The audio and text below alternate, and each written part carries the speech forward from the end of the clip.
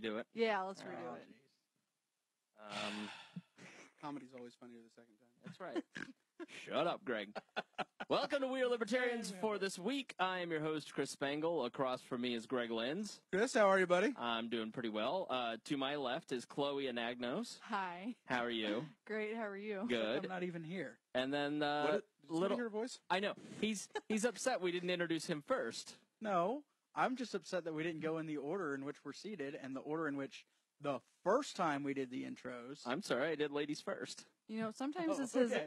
as his assistant, sometimes it's nice to be thought of first. I know, yeah. And then little Brett Bittner's here. No, no, we're we're dropping that. We're all on hashtag Never Bittner now. Everybody can go and get their shirts. It's got my face on it. It's a great color, the best color. I don't know that there is a better color. People tell you all the time you People have the best color. People tell best me all the time I have the best colors. and so you can get your t-shirt at tchip.com slash neverbittner. Five dollars from each t-shirt sold goes to We Are Libertarians. So far, Spangle is up to a whopping thirty-five dollars. Nice. All right, I'll take it. I'll Can- take it. Is he going to buy Jeremiah Morrill Giacomo's pizza? Uh, for hell no. $35? no, You could get him Giacomo's like five times with that. Jeremiah just can't win. no. He No. he is a member of the uh, Jeremiah Moral Pizza Club. So you go to wearelibertarians.com and you click on the right side. You can join the pizza club. Seven. In true se- libertarian fashion, rather than giving him financial support, you've decided to bestow upon him a title. Right. um. So, anyways, yes, we are uh, here. We're st- we're apparently doing uh, a Facebook Live video because I'm I'm gonna try and Facebook Live these. I tried to be fancy and hook the board right into the to the to the uh, equipment. We're doing the internets. Yeah, we're doing the internets, but uh, I don't know. If. I don't know if it's working or not. Well, So That's all right. we'll see. The people will uh, they will be okay if we don't live stream. Yeah, somebody text me and tell me if it's working or not. Uh, this presumptuous Right. Hey, I know you're watching. Anybody Let me know. tuned in? All of you watching, tell me. there's like tw- 20 people watching. Are there really? Yeah. Oh. Yeah, we've got lots and lots of fans. Basements across the country are going wild right now. Yeah. So uh, we've got uh, someone said ha ha ha Brett. So clearly no one's listening. Clearly. now, oh, it, it's working. All right. Uh, Sweet. so yes, Brett Bittner, uh, famous for coming on We Are Libertarians. Yep. Uh, Definitely. This In is fact, your this is your own cause then. That's what he's saying. coming on to We Are Libertarians to talk about his favorite subject, Brett Bittner. Has, well, no, just just my t-shirts right now. Has launched his own clothing line, Yep, Never Bittner. Hashtag Right. Never Bittner. right? It's not working though. tchip.com slash never bittner. You guys need to make sure I'm going to check in at the end of the show for all the 20 people that are watching the live stream Uh huh. and make sure that all 20 of them have purchased their never bittner t-shirts. Do you have yours yet? No, mine hasn't come in yet. Okay, so when you have it, you have we have to do the live stream and you have to wear it. That Oh. to be the official shirt At the you next, wear. if I have it by the next wall live, if I'm actually allowed to come, um, I will definitely make sure that I wear it. yes, you Uh, should wear it, and we will make sure that you're up there only if you are wearing a ballerina tutu. Oh no, the Scylla has all of those right now. I know. They've Maybe been she repurposed. needs. Maybe your pug Scylla needs. She needs a never bittner outfit. She has one. Does she Well, really? It's on order. Are you serious? You Yeah. made your own dog an outfit that has your face on it. Yeah, and of course never I hashtag never bittner. Of course. Why wouldn't I? This is the greatest hashtag in the history of hashtags. It's, Man. it's the greatest reverse psychology campaign of all time. that is kind of true. I mean, it's Yeah. 100 percent effective so far. It is. Uh, yeah. So get your Never Bittner T-shirts. Uh, what is the what is the address again? T Tchip. tchip.com slash neverbittner. All right, I'll put it. No in the, hashtag though. I'll Just put it in never the bittner. show Yeah. notes too. Yeah. Uh, so And get your, apparently Jeremiah wants to make sure that we talk about him and to ask me why I went swimming yesterday. uh, see this whole live stream thing may be bad because now people think that they can get on the show by joining in on the Facebook Live, and that is Mm, not it's how we not do cool. things. No, Not cool, Jeremiah. this is not cool. interactive. It has to be earned. Right. You have to. You have to earn it. Earn in your placement with dear leader. Uh, some of you may notice a little bit of a difference, I- and, and I don't know why, but it's really only on my mic I can hear the difference. But on your guys' mic, I think it's it's the professional broadcast quality voice that I have. hmm Um, All right. thanks to Jason Doolittle, he bought us uh, Behringer Multicom Pro XL, and it's a compressor. So if we all just stay silent for a moment, you don't hear anything. And you used to be able to hear traffic. You used to be able to hear air conditioning, mittens, me breathing heavily into the microphone, especially when Chloe's here. Oh God, Um, libertarian alert. Oh, so that's why Uh, you're sitting over there. It's like we're at the nothing to do- convention all over again. Oh, even- the gosh, live stream isn't even hooked up. So we, we now have uh, that taking place. It sounds great, and I wanted to thank him for for that. If you want to join, uh, click our Amazon wish list. It's in order of importance at wearelibertarians.com. Greg, how are you feeling? You look you look like you're a little tired. I'm exhausted. I'm exhausted. It's been a long. Uh, it's been a long weekend. Starting, uh, I, I told you I'd been helping out with uh, Andrew Horning. He is running for Congress in District Eight here in Indiana. And That's a long way from where you live, Greg. Why It would you be helping out with a candidate all the way down there? Your well, well- commitment to liberty is so unparalleled. Well, see, I've found that the toxic and divisive label has actually it doesn't go further south than Bloomington, and so I'm going to where I'm accepted. Ah. All right. I am True. toxic and divisifying Southern Indiana next. After that, it will be to the northern region, and by the I guess by the end of the year or election season, I will have completely and Infected. That's not maybe the word you want to use. no, but he uh, he Andy kicked off his barnstorming tour of District Eight with uh, Evansville media appearances. Did eight of them in all, and uh, started with the Evansville Courier Press on Friday night and went all the way through to a TV interview with their local affiliate um, Sunday afternoon, and then um, just getting things together, getting it launched. It's been, Awesome. It's been awesome. He's I can't get over the the media he has received is incredible, given you know the struggle we have always fought Yeah. in getting the same level of access and the type of coverage that the major two parties have gotten. Yeah, especially Andy. Andy really, uh, I think it was 2004. Whoa, that's us. Sorry, guys. Uh, he, in 2004, very professional broadcast. Uh, in 2004, he went outside of the major state newspaper, the Indianapolis Star, and lit it on fire. And then, for subsequent runs, couldn't figure out why the Indianapolis Star would never cover him. Traditionally detrimental to co- positive coverage. right. Well, you know, everything is different now. I mean, that's why hashtag Never Bittner is trending. On Twitter nationally, It was. it was at one point. We were. It was crazy. people are love not feeling the Bittner. That's right. Yep.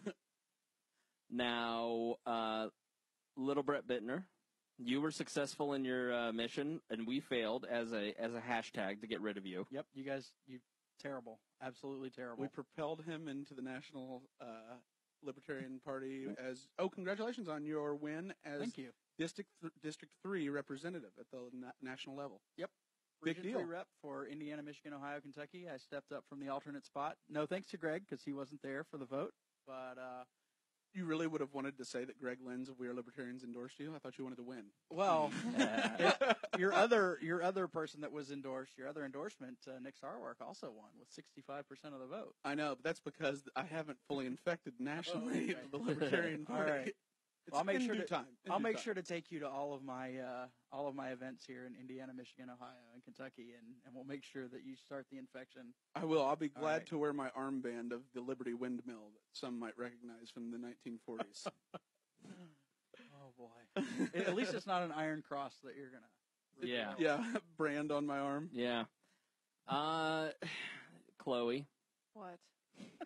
oh, what? Why? I'm you- kidding. So moody. Do you want me to bring up the long conversation I had last night with your sister? No, No one wants that. no one wants to hear. Had a long, hour-long conversation with Chloe's 19-year-old sister last night. It's no big deal. Mm-hmm. She's working on her YouTube page. She is. Yeah, I'm helping her get into show business. Oh man, we got Nice. ourselves a libertarian Cosby on our hands. Wait, Want to be a a want to be a a a slow Cosby? libertarian celebrity, hun? now, uh, Uh. Chloe, you attended your first uh, National Libertarian Convention. I did. I bet you were popular. Oh yeah, I was so popular. How With- po- how popular were you? I was so popular that I probably have many, many new suitors. Yeah. So, and I'll I'll just kind of leave it at that. No, let's let's keep going. Let's flush this out. Let's flesh this out. Tell us some of the stories. Look, because listen, Chloe, if I may touch you, Oh how my about, god, How about not? Oh, that was him putting the lotion on its skin. Chloe, get, come back here. Uh, put the lotion in the basket. Yeah, I will marry an anagnos. Get over here. I will. There goes voluntarism right out the window. Prima nocta. Oh, he's about to Borat wedding sack you. now, boy. I think I think it's important that libertarians hear what they're like, how they come across to women. Yeah. Um, Well, Let's let's talk about some of the horror stories of being an attractive female at a libertarian convention. okay. I don't even think it has to do with being an attractive female because there was one day where I showed up in glasses, no makeup, just pants, button down shirt, flats, like Elkhart formal. Elkhart formal. Yes, Gas, exactly. nothing No. but gas everywhere. Severely bloated, No. eyes puffy. Dry shampoo, like oh man. I, I just kind of showed up, right? Still got some of the same people that came over and talked to me. So Mhm. I don't really think it matters what you look like. It's just, I don't know. I like to think that I'm a nice person and a couple days where Do I was you? looking pretty cute. Yeah. Interesting. You're hanging out with Everybody- the wrong crowd. You know, Huh, Hitler, really? Haven't heard that. Hitler thought that too. that. Yeah. Hmm, interesting. I can't tell you how many SOS text messages I got and SOS phone calls and Yeah. It, it is. It's something, and it, we joke about it. Like you know, we joke about the creepertarian. You know, it's real. yeah, Yeah, it's it's but it's, it's real. highly. It is really preventative. For, uh, when we have these long discussions on how we appeal to women, how do we reach outreach effectively, talk about the issues they care about, because we do tend to be focused on the economic side, Right. and we do tend to be focused on the, um, you know, just more. I guess you could say the less feelsy things. Mhm. Speak for yourself. That's true. You're very good. No, you're you and Chris are both like two excellent examples of people who are able to sell the libertarian message in a like heartfelt. Um, high. Uh, I guess people are just people listen. You you sell libertarianism in relatable stories very well, Yeah. especially that appeal to the emotional side because that's there. It's just rarely used. Yeah. It's one, and it's the, arguably the most effective tactic we have in spreading the message. Unfortunately, so though, most are the Austrian economic school of selling liberty. yeah. I, w- I will say, and, and Hi. Oh, please stop. I mean, Have Brett, read- Brett, is there Law Pardon? anything? Is I mean, I a couple of them I don't really want to talk about on. Like, I'd rather you kind of talk about. I wasn't there. I just got a lot of SOS text messages and phone You, calls. you you tell us. This is entertainment. Part of being a libertarian is taking Well- personal responsibility and handling issues yourself. Yeah, I, I will say Don't I. ask for a Bittner subsidy. Hashtag True. never Bittner. Yeah. True. Don't forget to get your t-shirts. tchip.com Oh my slash gosh, never Bittner. Um, I He's the it works of the Libertarian Party. I mean, I did send a lot of SOS like messages to Brett, and then um, I think I sent a few to Christy Avery and Mm-hmm. said, "Hey, like, can someone just kind of come and sit with me because I had There's no air conditioning in this trunk. oh gosh, people are gonna be like, Chloe, just get to the story. Um, but I had, I mean, people that just mainly like wouldn't go away. Like it's That like, and, and that happens. But then I had like some advances that were very like inappropriate. What they say? um, trying to follow me to my room. Really? Yeah, Wow. yeah. Like, hey, I'll s- like, B- I had to. Bittner. Nope. Yeah. There's a reason that her room is always next to mine or across the hall from mine. No, Right. no, like I'll, I'll like that. Yeah. attest. Like Brett did a really good job of being like you know making sure that Chloe was. It's not that she was necessarily. Well, hopefully she was never unsafe. But No, that, that no. Chloe always felt comfortable or Yeah. like Yeah. not so creeped out she didn't want to participate the next day. Because Yeah, we, we know how absolutely. yeah we know how Chloe feels about human contact and human. What's your deal? What's your deal? She did have a couple people come up and ask her that. really, Yeah, I had a lot of wall people that came over and talked to me, which was really cool. that's great. A lot of people asked about you and were like, "Oh my gosh, where's is Lenz going to be here? Is Spangle going to be here?" I, I was there. I made an appearance, and then Yeah. Which I never saw. yeah, Yeah. most people Yeah. didn't because I, I I thought I don't want to come away from this disappointed about liberty and its prospects. So I'm just going to walk away and stay in my little you know and my bubble of positive liberty. and yet you did. Yeah. so we'll talk about that later. So you Right. went to Orlando, did you? I did. Went down to Orlando. Yeah, um, what- spent what'd you do? Time, uh, hey, the- tell us a little bit about your flight. Please do. Please So, tell us. my my uh, quote unquote friends, which I use that term very loosely, decided it would be hilarious as I'm checking in to get on my flight to head to Orlando, that it's going to be just the funniest thing in the world to all of a sudden take the list of NSA trigger words, which is every bit of 150 to 200 words long, It was thir- 350. 350, and repeatedly post them on the and as comments on my check-in at the airport which shockingly, my flight, although arriving on time, had an unexpected 30 minute delay where it neither had to back away from anything nor did the crew leave. It was basically a lockdown sweep because I was reported to TSA, Homeland Security, and Southwest Airlines as a known terrorist, both on Twitter and Facebook. who, who would have done such a thing? Greg? Oh, well, terrible. you know, did it's terrible. only good friends. Only good friends. only uh, only the worst kind of friends and podcast co-hosts do such terrible things. What kind of person photoshops a picture of you next to Osama bin Laden? Wait, he didn't say anything about that. Yeah, that that was yeah, that was um, that was part of the narrative of selling it, if you will, to the authorities necessary to detain me in Guantanamo for an extended period of time without rights. Fly Just to Orlando. and- just had to go back. I did. Thorough. Uh-huh. Just and thorough. Generous. I know. Generous and thorough. Yeah, generous and thorough. Which, Oh, we, we when they were. asked if two fingers would be okay, I asked for a third. Right. If I'm going to have to go through this ridiculous exercise, I might as well enjoy it a little bit. Because you're a man. Yes. Anyway, And a Wait, man. did you really I'm a get white cav- male. Did you really get a cavity search? No, just drug drug sniffing dog. The plane got delayed 30 minutes for no reason, and then they took my bag off of the airplane after it was already ready to go on. Left me a nice little note when I arrived in Florida to get my toiletries for the evening to brush my teeth, and found out that there was nothing in it. With a wonderful note from the TSA letting them know that it had been confiscated. And and I had everything perfectly folded, and shocked to find out that it was all thrown and tossed aside, and everything was a wrinkled mess, touched by the grubby hands of some basement-breathing mouth dweller that Look, you works mean- for the airlines. You mean the Blue Gloves of Freedom? I guess uh, this was a baggage handler. I think probably has some sort of deep web rape channel, or at least that's what I like to imagine the late night baggage handlers do. now, to be fair, I don't. To be fair, I don't huh? think it to was. To be fair. To, huh? to be fair, I to don't. To be fair, I- that's an interesting choice of words. don't think it was me. I I think it was John who tweeted directly to Homeland Security's Twitter. Where would he have ever got that idea? All right, I take full responsibility for that. don't know. All right, Where and you you're stunned that somehow once just- you said it was okay that I was a flight a terrorist threat that a brutalist would think it was totally okay to report directly on Twitter that I in fact knew bin Laden there's photo evidence and I have a history of talking about ISIS. I can't believe John thought it was okay. You know, my participation I was simply re- pointing out that in the in the list of the trigger words, you guys forgot bomb. uh, That's not a trigger word. Remember?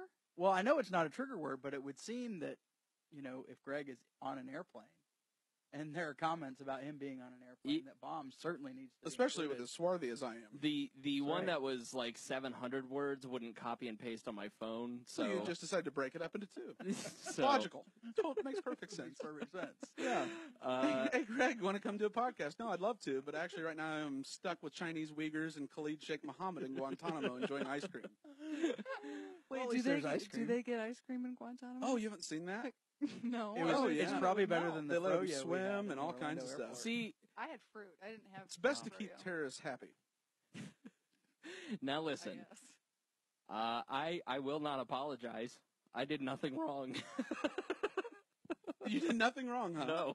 Interesting. After years and years of abuse, Of abuse, of in real life, with real consequences, abuse. yeah, yeah. Please name an example. Well, there was that girl that was really. Uh, well, we can't get into her right now. She's getting married. Uh, so now What are you that- talking about? I helped you with her. I know. I'm sorry. It is all okay, and I appreciate any full Jimmy wrestling that comes my way. It's just a good thing that I am here today. I appreciate the freedoms I am granted to still be able to podcast after being labeled a known terrorist. Let so say- wait, wait. I have a question. How was the megabus trip back from Orlando? yeah. Well, let's just say this. The fingers of freedom Blue gloves of were freedom. not the only ones I received. it was a homeless man named Keith. Yep. He had just gotten out of rehab in Pensacola. And I can tell you this, his hygiene efforts would not have been uh, approved by Vermin Supreme. oh, uh, Oh gosh, he was at the booth across like Caddy Corner for me, Oh, he was a and it, Yeah, the man that wears the boot isn't a terrorist, but No. the, guy, the guy that Hey, uh, he's wants to make America great ponies again is a clear Osama bin Laden sympathizer. now, to be fair, to be fair, again, odd word choice. I you were like boarding. The, I think you were on the plane when I posted it. I was in line and I checked in, and then uh, shocking a guy that's been on the show, um, Sam Goldstein, a libertarian here in Indiana. We were on the same flight. He comes up to me, and you know, but our plane had been delayed about 30 minutes, but I hadn't been checking my phone because it was about to die. hmm And so I don't, I'm, I'm totally unaware of this, of the delay or anything that's going on until I arrive in Orlando and I'm able to charge up my phone and I'm like, holy shit. Holy. Do and like, do we know for certain? uh, Because so when I posted the keywords, I thought, all right, he's like on the plane. nope, I would have been had the keywords not been posted. But see, you were like, it would have been around the. When was when did I post them? What point of your flight were you? It was, uh, so it was right, but like, it was when we were supposed to board and then we were unable to board. But see, how could they move that fast? I don't know. I'm not saying it was you. I'm saying that it's oddly coincidental that all Correlation this does went not down. equal I- causation. I'm totally taking credit. I Don't- would too. I mean, Yeah. it definitely enhances your persona as a Jimmy wrestler, a known wrestler of the Jimmies. It's just that you know, luckily, you know, I'm I'm happy to not be in Guantanamo. I thought I thought when I posted I was like, this will just be really funny. There's nothing. Indefinite detainment. Well, who- who- Allegations of being pro ISIS. who who would have who would have actually thought that that would have actually gotten back to the NSA? To be fair, to be fair, Yeah, they don't monitor social media at all. no. No, there's it's totally not when you unlikely. tweet directly at them. It's They totally never unlikely there's that. not a paid monitoring person of We Are Libertarians that I is am an re- NSA, you know, j- uh, analyst. I am responsible for that, but I will not apologize. John should apologize for the Photoshop of Greg next to Bin Laden and him tweeting that to Southwest, Air, South, Southwest Airlines, Homeland Security, and the TSA. And the NSA. Yeah, this was one of the best Oh, they were already that I watching told by the whole time that we were down in Orlando. oh, this is the a great Yeah. story. Oh, it's yeah, so we told great. it so it's the greatest story. It Well- is so fun. It is. It It is is so great. funny. There's never been a greater story. This guy we know that's a libertarian. Guess what? Hilarious. He convinced the TSA Hilarious he was a terrorist. Hysterical. it really is. Oh. It's funny if it's not oh, you. like you, like you didn't try to get me back later at dinner. I didn't try to. I Oh, oh by comparison, really? that is innocuous. no, that's that's easily the worst thing I've ever done to anybody in hindsight. Yeah, like oh, all Oh, yeah. I I had the ball. All I did was Brett had noticed one of the tinfoil caucus of the Libertarian Party nationally, and who happened to recognize Brett came up and decided to sit with Brett Chloe, and I as we were enjoying dinner. And at a certain point, I was like, "Well, this will just be this is justified." So I'm mm-hmm. going to start asking her all these questions about her life story and continually turn it back to Brett, so that Brett has to sit here and listen to this lady's sob story and her adventures in libertarianism and all because I knew that Brett, in his role as the chairman or the director for Advocates of Self Government, he cannot afraid to he cannot afford to alienate a single libertarian. He has to sit there and take it. And so, by comparison, that was very, very innocuous. Considering, it was on par with my participation. uh huh, you're either with us or against us. You're the axis of evil. You're in the axis of evil. He evil, put he put Allahu Akbar He on his did. thing. Don't forget. which is arguably okay? as bad as any other word. I was just welcoming. I was just just sharing my love from the group that you guys added me to Uh huh. after Nick and I were at. Don't the, uh, add me. I had nothing to Indianapolis do Motor with you Speedway, adding you kissing to- the bricks. Hey, just because you love Allah, just because you're on the anything. path to Jannah. yeah, It does not The mean- Jinnah. So I was unaware. Someone there's this Facebook. We have a we have a Muslim friend, Amir. He's a friend of the show. He's been on before, and Amir He's the first ever. and Amir sent uh, full Muslims, uh, and Aaron Ewert, our buddy, went in there one day and posted. He took took this photo of Nick Sarwark and Brett kissing the bricks at the speedway, and it looks like they're kneeling to pray uh, in Islam. And as he's kneeling down, so he photoshopped the like the Taj Mahal behind it or Right, the- Which something. isn't even A right. terrible Right. cultural misappropriation that Right. was wrong. right. Yes, and very wrong. posted into uh, into the path to Jannah that he had saved brother Brett and that Brett had become a That was not Muslim. It- no, it was uh, Aaron that It was did Aaron, it. yeah. And so Aaron was like this superstar. They're like, who's this blonde-haired, blue-eyed white guy that is converting people to Islam? We have found the one, the, The, great, Captain America convert of ISIS. the great white hope is upon us. And uh, Inshallah, brother Aaron. for like how many weeks? Your mom called asking if you really converted to Islam. I get asked about it every once in a while. So so many people want to come on this show, Greg. yeah, It's just people ask. They go, Yeah. "Can I come on We Are Libertarians? Can I be part of the crew?" You don't No, want any of you this. don't want this. No. is. It is You- not for the faint of heart. No. It- the, the No. threat of being detained indefinitely as a, you know, a, a real treasonous, you know, state uh, terrorist of the state. You know, I flirted right up the line. I, you know, like you got right up to the line. Luckily, my pro-Trump support probably saved me from being detained. I- Well, but you were wearing your "Make America Great Again" hat. I'm so lucky that I bought that freaking hat. Otherwise, right now, it would be me and the Sheikh talking about, you know, how I- he masterminded 9/11 with Brett Bittner. To be fair, to be fair, I just thought that you would land, see it, and have a good laugh. I never anticipated that that that they would act so quickly that they could delay the plane and steal all your toiletries. After everything Edward Snowden has told us, you shockingly thought, "Oh, surely this won't get noticed." Who's watching? Exactly. Who's watching? Who's watching us? Who's watching us? Apparently, a lot of people because they all came up and talked to me at the convention. I know, Yeah. I- which which is very nice, and Yeah. I am glad you got recognized for your article, and they recognized you as Yeah. Chloe Anagnos from We Are Libertarians. Yeah, and I was recognized at least as many times as Little Brett Bittner as I was for my political resume and accomplishments. Thank you very much, Chris Spangle. You're welcome. It was awesome. Bittnering at his own pace. At my own Yep. pace. ruining lives, making friends and ruining I lives. can't believe you actually. Now that you are the district three rep, you decided to come back. Well, Now there are. I've got T-shirts to sell. That's true. tchip.com slash neverbittner. We are all whores to capitalism. Five dollars from each shirt goes to wall. Shut up, Aaron. What's going on now? Don't forget when Chris gave Greg's phone number out too. Yep. I remember that. Uh, great. I mean, two strategic strikes compared to hundreds of memes. Hundreds of memes which were designed to be helpful, whose intent was to raise you to prominence, not to get you sent to Guantanamo. Uh, Six of one, half a dozen of yeah, some, another. some say, "Hey, build me up, so I'm a celebritarian. Some say, "You have no rights." are you Inshallah, are you fine? I'm fine. Are you okay? My jimmies remain unrustled. All right, good. Yes. I don't want this to come between us. It is not going to come between us because ultimately I went to Disneyland where they would have shockingly the security at Disneyland is about 10 times more strict than getting on an airplane. Seriously. Okay. I was have- fingerprinted 3 times and searched 3 times You're just to even me. get into Epcot. How Seriously? thoroughly? Everyone was. How thoroughly were Well, I you mean it's just the bags, but the fingerprinting is th- 3 times. I, w- I wouldn't. I would be like, nope, sorry. Well, you don't have an option. It's don't go or you know, and I'd already bought the tickets online, so it wasn't That's really an ridiculous. option. Yeah. Tickets, two tickets. Huh? Two tickets. Two Yep. tickets. Me and the girlfriend went down. Wait, what? What? A girlfriend? Yes. Do tell.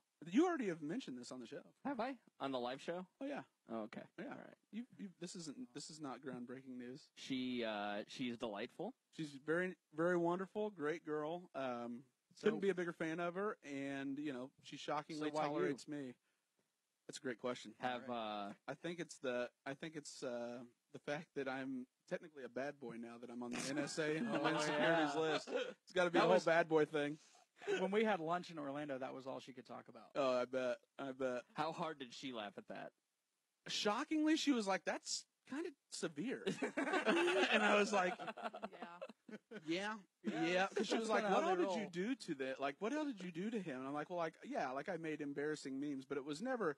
It was the point was to generate attention, never to make people think that he had sex with Justin Bieber. you know, I mean, because then I would have spent much more time making it look professional rather rather than you know making you you know it looks so. It was just a. It was a as Aaron Ewart would say, it was a shit meme. You know, so I didn't want people to think it was real. But uh, yeah, I- she was I- like, "Is this? Did you do something like really to deserve this?" And I was like, "You know, No, you you probably not. But I don't think I'd done anything lately that was bad. Um, you know, and then like." I, I don't think I'd done like you know any of your relationships in the past. I'd ever done anything to like alienate the girl. I don't think. No, no. Honestly, had I had I known that there were actually going to be ramifications of any type, I wouldn't have done it at all. I have the receipt for the thirty-seven dollars I spent replacing my toiletries. that um, we will. That I'm just going to keep and hold over your head because I don't want it to be repaid. Listeners, I want it to be my leverage every time. go to wearelibertarians.com, hit PayPal, $37 to help refund. No, no, no, no. Listeners do not because I want to have the high ground on this and use this repeatedly as um, that I Hey. for I forewent my vengeance. you know, we're only two dollars away from the last time I checked on the Never Bittner T-shirt. Shut up. Every dollar spent on a Never Bittner T-shirt adds a dollar to uh, what that charge is going to be to repay my toiletries. uh, I did something for Jeremiah recently, and he goes, "Ah, this is the first time your friendship has ever not cost me money." Which is true. That snarky little bastard. I know. Great. So, well, I do apologize. If I, It was. It is all in good fun. I honestly, it was. I had no idea that it would actually like there would be ramifications to my jackassery. it was. It was all in good fun. All is well. I am still a known great American, and so Yeah. it, there are other than uh, other than maybe having to not brush my teeth one night. It's no biggie. Now, Ew. I know. now TSA, NSA, we know you're listening. Uh, it was just some tomfoolery. Yes, we should take national security more seriously, but we're libertarians. Those toxic meme boys ruining the security we, apparatus. we we love America. Look at our look at our uh, look at the the table cover. The table Yeah, I was gonna mention. it's covered in flags. We love America. Very patriotic, all of a sudden. So- I will say that the TSA is a joke, though. Why? So, because they're terrible. Yeah, I Oh, agree you with that. Should, you should share with Chris what happened when we were on our way back. What? What about when we on were our way back? we were all raring to go to opt out. Oh yeah, we were like super ready to opt out. There were little kids screaming everywhere. It was a nightmare for people that had kids. And Brett and I are just standing there, and they're like, "Uh, no, you come through this line." So we didn't even go through the body scanner. They just put us through Wow. the metal detector. It mu- it must have been my libertarian shirt that I was wearing. Right. Probably. Yeah. They'd been harassed enough by all Now- the libertarians leaving. Now I hope I haven't made a bad impression on Mrs. Uh, Mrs. Gregory Lenz. what was that? Have I? Have I? I hope I haven't made a bad impression on your girlfriend no, because no. we've never gotten a chance to talk. She doesn't know how wonderful I am. she doesn't. know- No, no. She hears me talk about you guys all the time. All right. Yeah, I mean. well, that doesn't mean anything. No, but I, I, I, I tell my, I tell the worst things about my friends to their face, and then I. But once you know, I am your biggest defender. I am your biggest defender to other people. You know, you know how I am. You know how you my thought. You know my thoughts on the subject is that, you know, I only am the one that gets to talk bad about my friends. If you dare do right. it, I'm burning Yeah. down the entire house right. and Yeah. making sure you are never allowed at any event I'm at again. if it makes you feel better, you made my afternoon because when you when you checked in at CVS that night, I thought that was a joke. No, the next morning. the next morning, whatever it was, I honestly I thought that was the funniest comeback you could have had. I had no idea you were serious. That was all real. Speaking of CVS, they must have known that the libertarians were coming uh-huh. because the no Walgreens. Sorry, Walgreens. Walgreens must have known because they had fedoras on sale, two for, two for Two ten. for ten. two for ten. Two for ten. Chloe and I had our little milady pose pictures. I think we shared with you guys as we both we took pictures of each other. It was fantastic. That very was fun. good. That was a good time. Proud of you guys. All of you. Mm. You did a great job. Special thanks to uh, Christy Avery. Uh, I'm. Uh, I failed to mention earlier that I am talking to the Christy Avery microphone, uh, which Ooh. sounds magnificent now. Uh, and Christy did yeoman's work down at the national convention. She took down, was it like 1,500 flyers and passed them out and put them on tables. Yeah, Uh, she did a great job. Yeah, and we gained like 500 new Facebook likes. Uh, I haven't looked at the subscriber count, but uh, yeah, she really helped us promote down there. Uh, I couldn't get down there. It was the 100th running of the Indianapolis 500. Uh, that is, Priorities. yeah, No. but that's like the that's like a family event. Like that's the one thing that my dad and brother and I do together ever. And uh, so I wasn't going to miss that in the 100th. And it was it was man, early in the day, race day was that was a great day. I had a great day until like four o'clock. That was a great day. After that, That was about when I think my day took a turn as well. yeah. You want to compare? so No, no, I think everybody's seen the reaction to what happened. yeah, so yeah, it would with James Weeks. Yeah, Yeah. thank God my reaction wasn't on C-SPAN. that would be To my a GIF wouldn't have been nearly enough. yeah, But that's okay. That's all right. We Uh, liberty on, Yep, we do. onward and upward.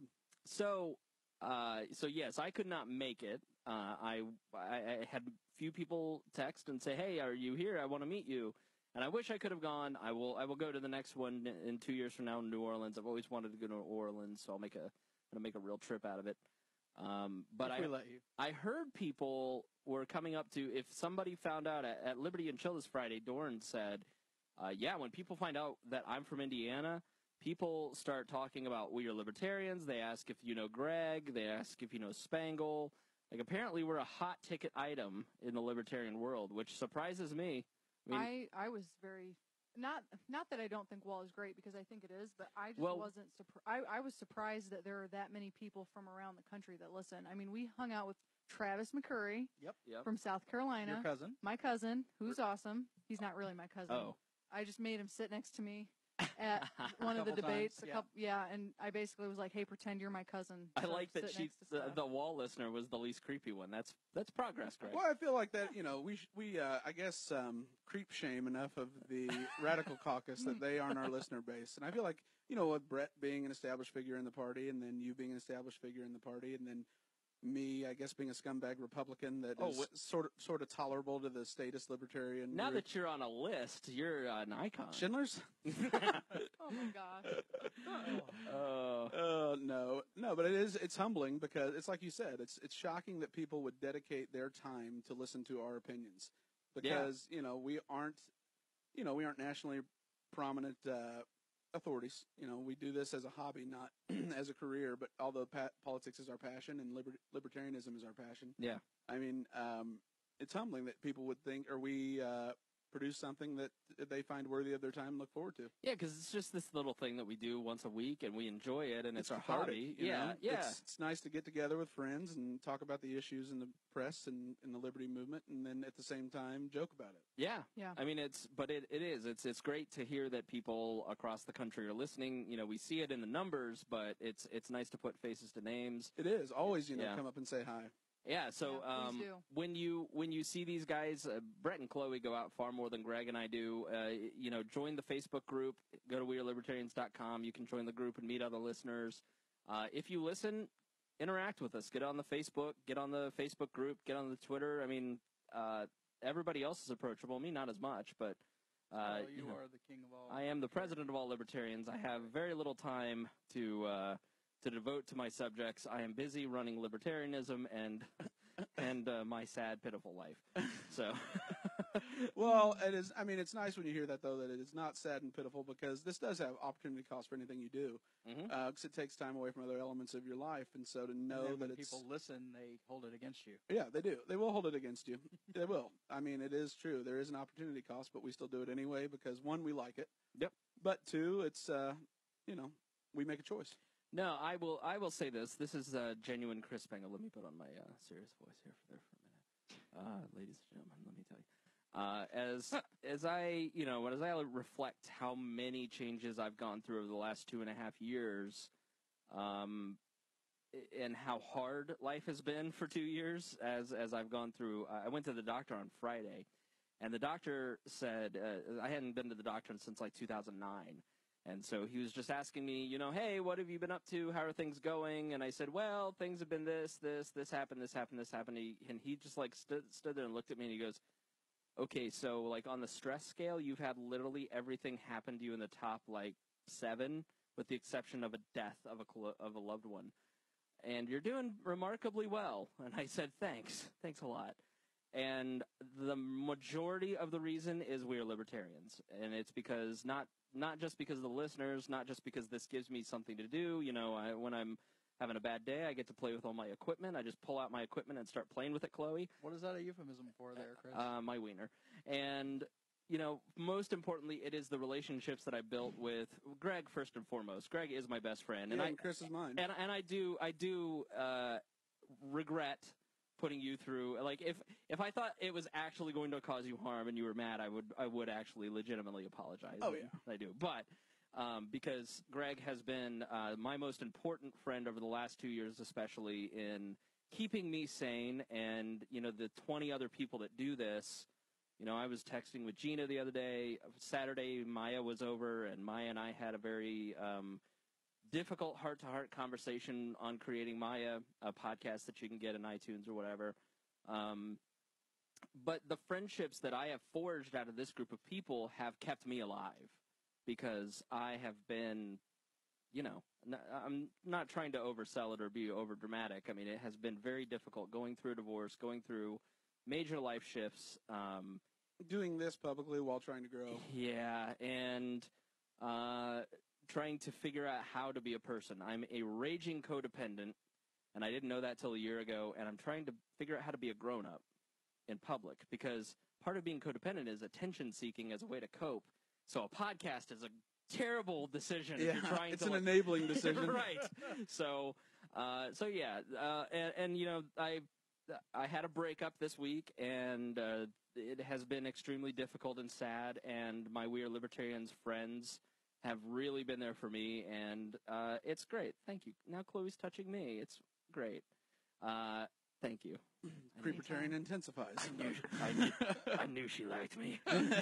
like, so yeah, it's just been such a great experience over these last four, four and a half years to do this and to get to know so many of you. And so to the people that came up to everybody from Indiana, to the people that came up and talked to the, to the cast uh, or have sent us notes over the years, and especially the people who've donated. You know, th- this equipment that we've got i- i- is is being built out on uh, donations from the audience, just because you like what we do. Right. If we weren't here, you'd miss us, and we're we would miss you. 100%. And so we've got a couple of computers that were donated to us this week. We're gonna. Uh, I'm working on a live stream. I'm working on a phone bank so we can take phone calls. So we're just trying to expand out our capabilities to do this bigger and better for for us and for you. And so we want to thank you. So when you donate, when you um, buy equipment, or when you just send in a note, you know you're you're contributing to something that is incredibly impactful in our lives. It is meaningful to us, and hopefully, what we do is meaningful to you. It surprises us when it is. Um, I know that Miah, the the creating Miah show, you know, as as influential I think as this show has been in the lives of uh, uh, several libertarians, maybe dozens, possibly a hundred libertarians across over the last four years. The creating Miah show um, has been huge in normalizing people's experiences with trans people. You know, if you know, it's like the Milk reference, the movie Milk. You know, if you know a gay person, then you're less. Uh, once you have, you're less ignorant of gay people. You, your cousin, your brother, your sister, your mom is gay. You have less fear and uh, biases, biases uh, towards gay people. And it's the same with the Creating Miah show. The people who listen to that understand Miah's transition, understand, I think, after this last episode, why Miah is so angry um, and the emotional hell that it is to be her. Um, but yeah, and and this group of podcasts and people has allowed us to do that. So just want to thank you guys. It's really been a meaningful couple months to to everybody, and the convention post convention episode with with what you guys have have shared with us in Orlando was very meaningful. So thank you very much. Anytime. Um, thanks, Chloe. Chloe, Just you're take all the credit, Chloe. I yeah, am. yeah. I'll just take all of it. That's Bittner's job. That's I'm wha- trying to upstage him. right. Assisting me at her own pace. It's uh, the 48 Laws of Power. Number one's never outshine the master. Okay. Oh, You got- if you haven't read Robert Greene, Chloe, you need to read Robert Greene. It's life changing stuff. So we don't we don't necessarily have a topic. This is um, this is more of a recap of what has happened in Orlando. So we talked a little bit about your personal experiences, and we can kind of finish up there. I mean, we'll we'll kind of go down the table uh, and, and wrapping up our our you know what our perception of Orlando was like. We have the special episode from Orlando. Uh, so Chloe, this was your first one. Other than the Creepitarians, I mean, what was kind of your the the vibe of the convention? Um, I really enjoyed the amount of energy that was there. Um, the media attention was really cool. I mean, just seeing crews from ABC and MSNBC and CNBC and you know New Everybody York Times. there. I mean, everyone was there. Um, so that was really cool. Um, I talked to a bunch of people that um, were reporters or producers or just you know cameramen that were just kind of wandering around looking at all the vendor tables because I was there um, with the advocates selling merchandise and giving the quiz out to people. Um, but I just thought that was really neat, and I've never been to any national political convention ever. Um, and I think, regardless of party, it might be kind of cool to go to another one, just because to feel that amount of energy, it kind of reminded me of um, being at like a Colts game or being at Yeah. finals night for Miss Indiana when you're like in that audience. There's a there, And, there's a I mean, reference that everybody can really grasp Oh onto, yeah, Chloe. finals night Well- at Miss Indiana. Oh yeah. and it, it sounds an awful lot like what somebody wrote uh, after they got back from Orlando hmm and talking about energy and Was that events. was that somebody named Brett Bittner? It, it was. Okay. yeah. Oh no. Somebody happened to copy edit it. They seemed to have lifted a couple things for themselves and presented them as their I own thoughts. agreed with everything that you're saying, Some say There copy and lot of lifted. Some said made it great again. And I'll go with the latter. Um, but yeah, it it was just really cool. It was really cool to be there. It was tiring um, at some points just because I mean I would get to the table, people are coming out, and it's hard for me, and I'm trying to like find this balance of um, being better at like being like on throughout the day and like actively listening and like trying to have conversations with people and you know just getting better about that. Um, so what's your deal? so what's your deal exactly? Right. Um, Want to take the quiz? you want to take the quiz? Now is a it couple quiz cards? is it true that you guys did not have an OPH kit out at Orlando? No, we didn't. We didn't. There was that was a controversy. That was not our focus. Our No. focus was uh, was helping grow the advocates and getting to know some of the people that support us. And um, we we ran some specials on books to help drive that. Um, we had a couple giveaways. You know, Mhm. we continue to do the "Freedom is my favorite F word" sticker. Uh, we continue to do that promotion, but we also unveiled a new sticker that Chloe uh, came up with um, that is absolutely wonderful. That's kind of leaning towards the ladies Yep. and uh, and Star Child.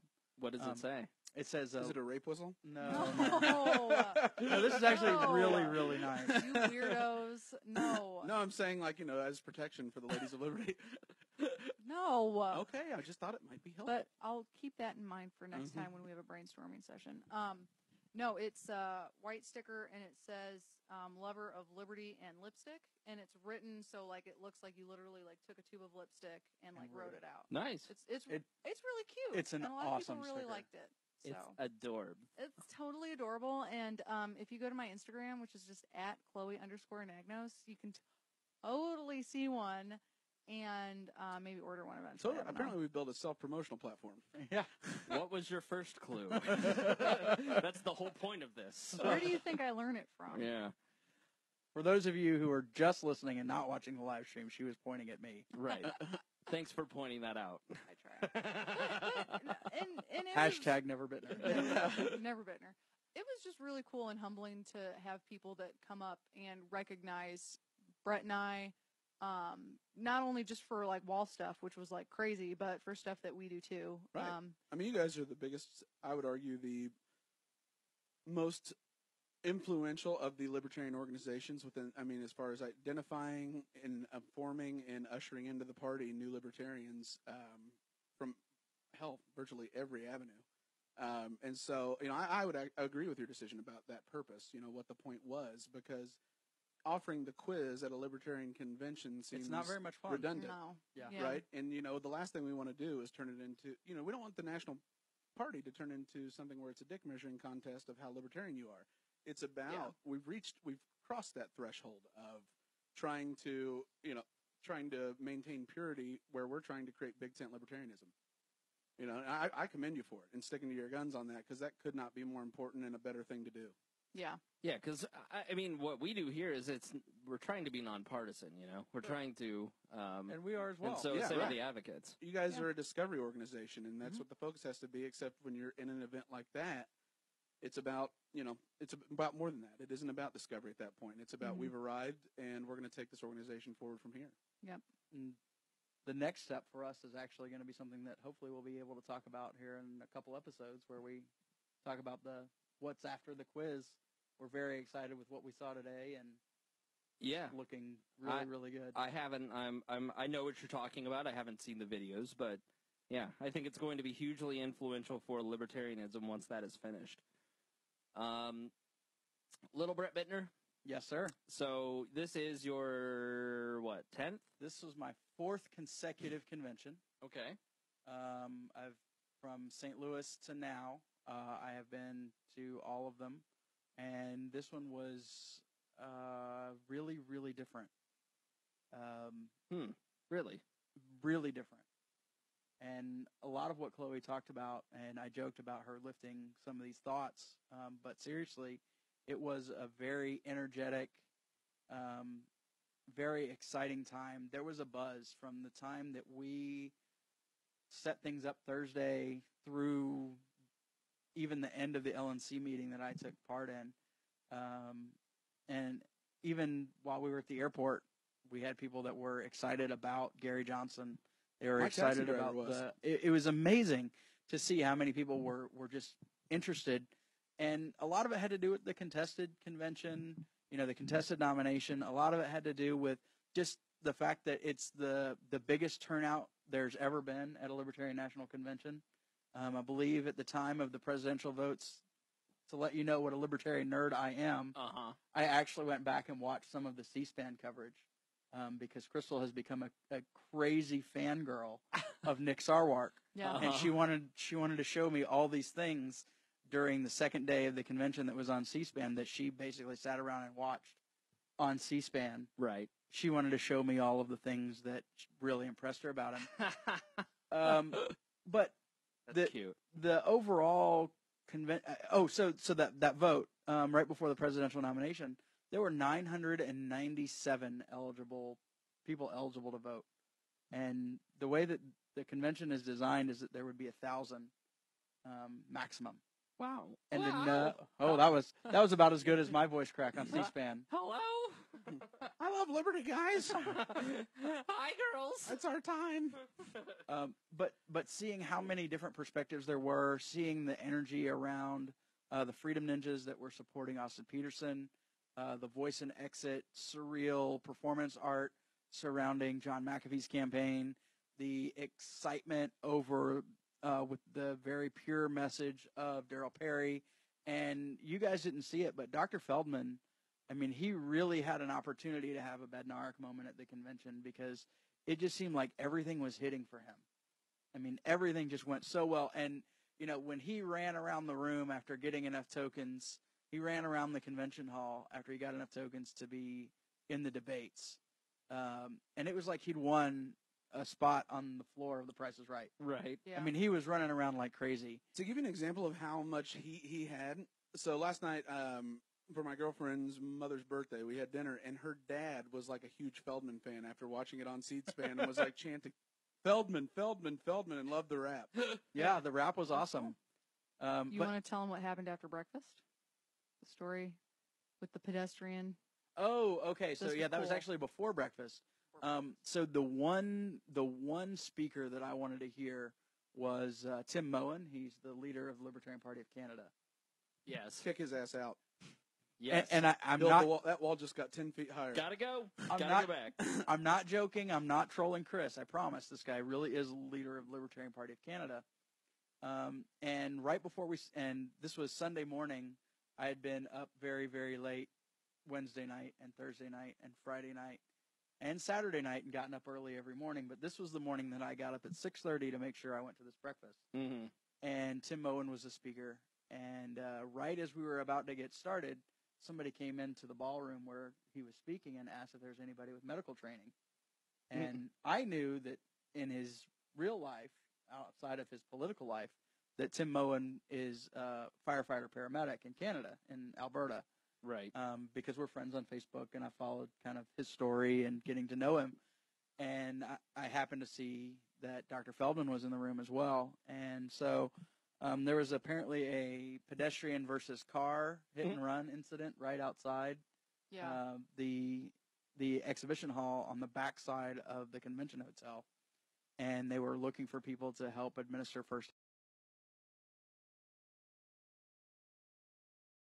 libertarians do when people are in need. Um, both Tim and Dr. Feldman broke into a run. Nah. Granted, Tim is literally being introduced to speak, um, they both broke into a run to go out and assist the person that had been hit by the car. Wow. And it, it was it, it's exactly what we what I talk about a lot in walking the walk and not outsourcing responsibility. That's literally what they were doing. They went, they used the training that they had to be to go and help somebody that was in need. And I and we talked about it. I think it was the night before in the debate where it was mentioned that you know it doesn't matter what's happening. If you see somebody that's in need, you see a kid drowning, you could be on your on your way to your wedding in your wedding dress or your tuxedo, but you see a kid that's drowning, you're not gonna you know you're gonna stop what you're doing and you're gonna help them. Right. And this was an amazing example of that actually happening. You know, there are small things that, that people can do. You know, they see somebody on the side of the road that needs their tire changed or, you know, they're, they're out of gas and they've got a gas can. They go and help somebody out or, you know, somebody's been, you know, they're, they've been sleeping in their car in a, in a parking lot because they didn't have any gas and you give them a tank so they can get where they're going. You know, those are little things that people can do, but this was a, an excellent example of people who had the ability that immediately responded, didn't think about what was happening. Dr. Feldman should have been campaigning. Tim Moen should have been speaking, and instead they they did what libertarians do, um, and they were helping people in need. Right. I mean, that's the that's what gives. I mean, I don't know if it, you probably feel the same way. That's what gives me great hope for it. Yeah. Absolutely. There's a human like in. Uh, we're not. There's a disaversion, I guess, to wanting, witnessing human suffering, and time after time, it's you know answering that call to arms in the absence of anyone else being there to do it.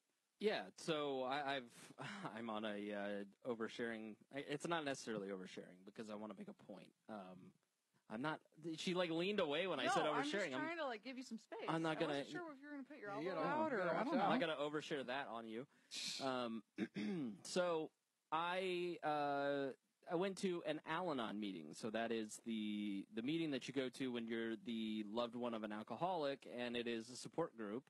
And I went last night with a friend, and uh, you know I have a loved one that's an alcoholic or was that impacted me significantly, that made me a codependent. And so, you know, I felt like I, I need to go to a meeting. So I went to a meeting last night and I shared my story. I'm sitting in a room of people who are 35 years older than I am. I mean, the majority of them are, are near 70 or older. Uh, and there's probably 10 of them. And uh, I have no idea. I have no I know nothing about them other than what they shared before, which was their experience. And uh, in sharing my story, at the end of the meeting, there was a massive outpouring of empathy and care and love and support. And you're not alone. I have those same emotions. I know I look older than you, but you're in the right place because this is exactly what I go through with my loved one. You know, and and I just walked away from that going, "Wow, okay. This is the, this is one of the most fundamental principles of hum, of libertarianism is that when we tell our stories, when we're vulnerable, uh, because in- in a government system, you just go and you punch a button and you get the thing out of the machine. You know, It's you just- transactional. it's transactional. Right, there's yeah. there's no human element to it. But in a libertarian society, there is uh, there is a a human element. You have to tell your story. You have to be vulnerable. You have to share of yourself with other people to get help. And when you do that, you have a richer life. You have people that don't know you caring for you because you're just another human being. And after I finished my story, I said, and I'm done. And the lady next to me goes, Welcome to the human race.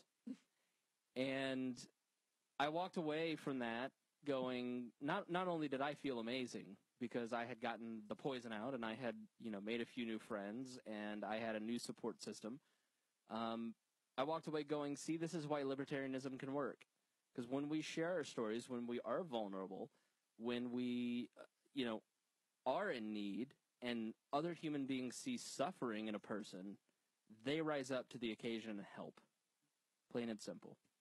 So that, that, you know, I think that that's part of what Rupert's story at the last We Are Libertarians Live was about. You know, it is seeing your fellow man, it, like, As a fellow man. yeah, don't don't worry that if you get rid of government, there there will be a safety net, There and is. it's us. It might. It might and not. we will do a much better job than what we have Absolutely. right now. Yeah, I'll tell you. Um, do you guys know Bart Gadau? He's the chairman of Vanderburgh County Party. No. I have. Yeah, yeah, lunch I with did. Yes. him. Yeah, you had lunch We with met Bart. him. Yeah, you met Bart. So Bart's uh, amazing. Like I've never met anybody like him who lives liber. I mean, he is amazing in what he does. So he actually tried to get um, the libertarian, or no, let's see, what was it? There's a thing called Keep Evansville Beautiful that we participated in Saturday morning, where people come out with the mayor and pick up trash.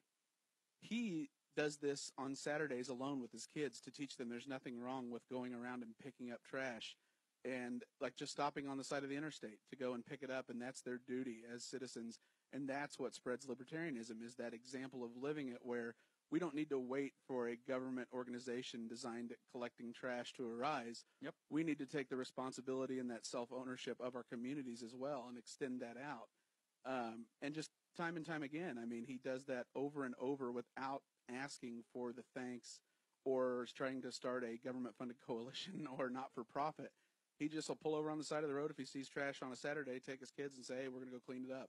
And he tried to do it with the parks in, in Evansville. He wanted Nice. to take the, Yeah. the people to take over the a great. parks. That was a great story. You know, calling out the mayor as a coward for not being able, you know, and getting the mayor to respond to it by saying, I am not a coward. All because he went out and is collect, you know, wanted to take care of it himself and take that responsibility on himself Right. when he's, you know, he already works a job and is involved in the Libertarian Party, which you know, you guys all know. Yeah. That is Mhm. an enormous commitment of time.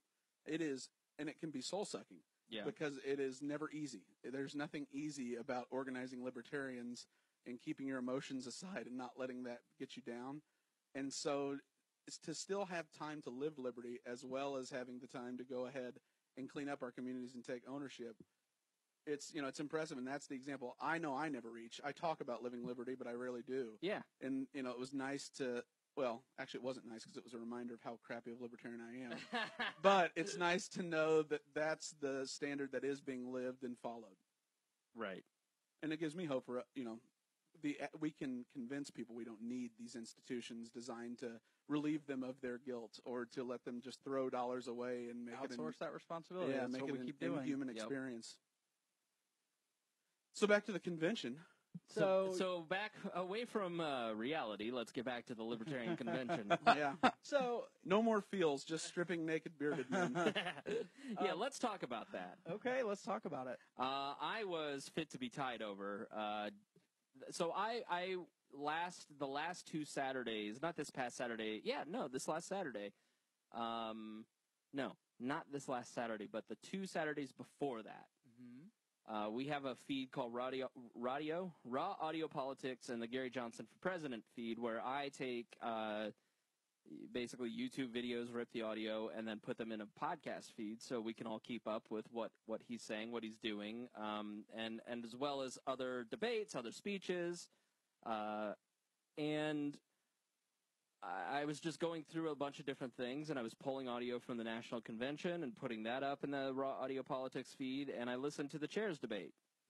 And Mark Rutherford did an amazing job, friend of ours, been on the show. Uh, Nick Sarwark, friend of the show, been on been on the, in the feed. He's he's a great guy. well he Uh, was our friend until he met aaron ewert Yep. who mistook him Uh, for some county chair in rural indiana Brett Pojunis, who I think has done a great job with the Libertarian Party of Nevada. I know him uh, somewhat. I, I don't know him as well as I know the other two. Um, I don't know Charles Perallo that well, but he seemed to have some ideas. He actually ended up not running for chair. Oh, okay. He Uh, he saw that there were.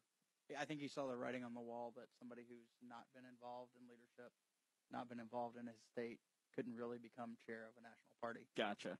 And then there was James Weeks, who in that debate was full of Nakedness. well, there's Well, radi- not yet. No, radical bumper sticker talk. I mean, it just wasn't. He wasn't libertarianism stripped raw right. So there is a caucus within the Libertarian Party called the Radical Caucus, and it is a group of people who are are by and large anarchists and who. Um, they're the black and yellow libertarian yeah, and they have uh, their definite view, and there's definitely a block. And James Weeks was their candidate for chair, and he was saying everything he could to try and maintain their support, but not really offering any valid ideas for the party. That that he he wasn't even coming close to matching the the top three. I'll say No, leadership requires a vision and a plan. Well, right. Here, Yeah. okay, so I do have to share something about the Radical Caucus. They did endorse Nick for chair, So it wasn't like he was Sure. put up to it by the caucus, like James was. Fair, I, fair, I, I believe that it had point. more to do with the fraud perpetrated on the party right. to have the to have the incident that happened Sunday. So, James. Before we get into it, I need to make sure we're not shiny. For Yeah. no, you look great. You look beautiful. The the resolution's pretty low. Now, the Libertarianism is best viewed in low resolution. Yes. James Weeks proved that. So this this guy is he looks like me. He's chubby. He's o- obese. He's very ugly. Uh, he is a scourge among men. He has scabies. I heard he has sex with his cousin. Jeez, Um, not none of that is true. none of that is true. I- I- well, he is overweight, but that's not a. He's a big guy. I'm a big guy. Greg's a big guy. You're a big guy. No biggie. Chloe's a big guy. Be Yep. fair. Yeah. I am. Don't microaggress. All right. Now, Don't Where's your iron? cross? don't categorize her. what what happened, Brett Bittner?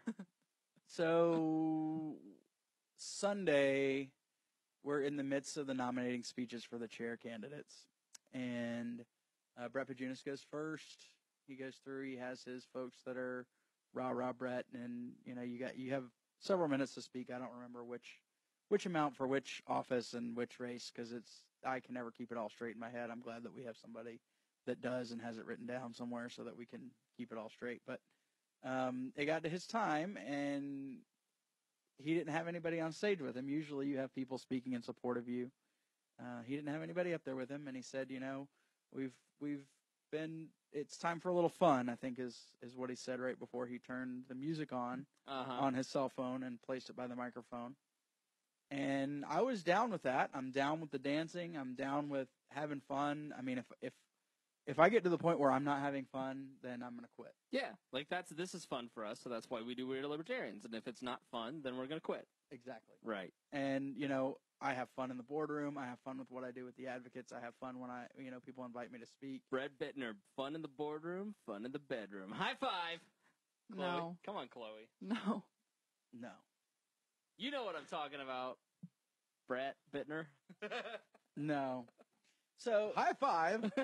so yeah Great at- success. at, at the point where i'm no longer having fun is when i'm going to be done right. um, there have been times where that, that has been tried and i have been tried but i'm still having fun so i'm still here Hasn't stopped being fun yet. Hasn't although been- that date doesn't look all that far off.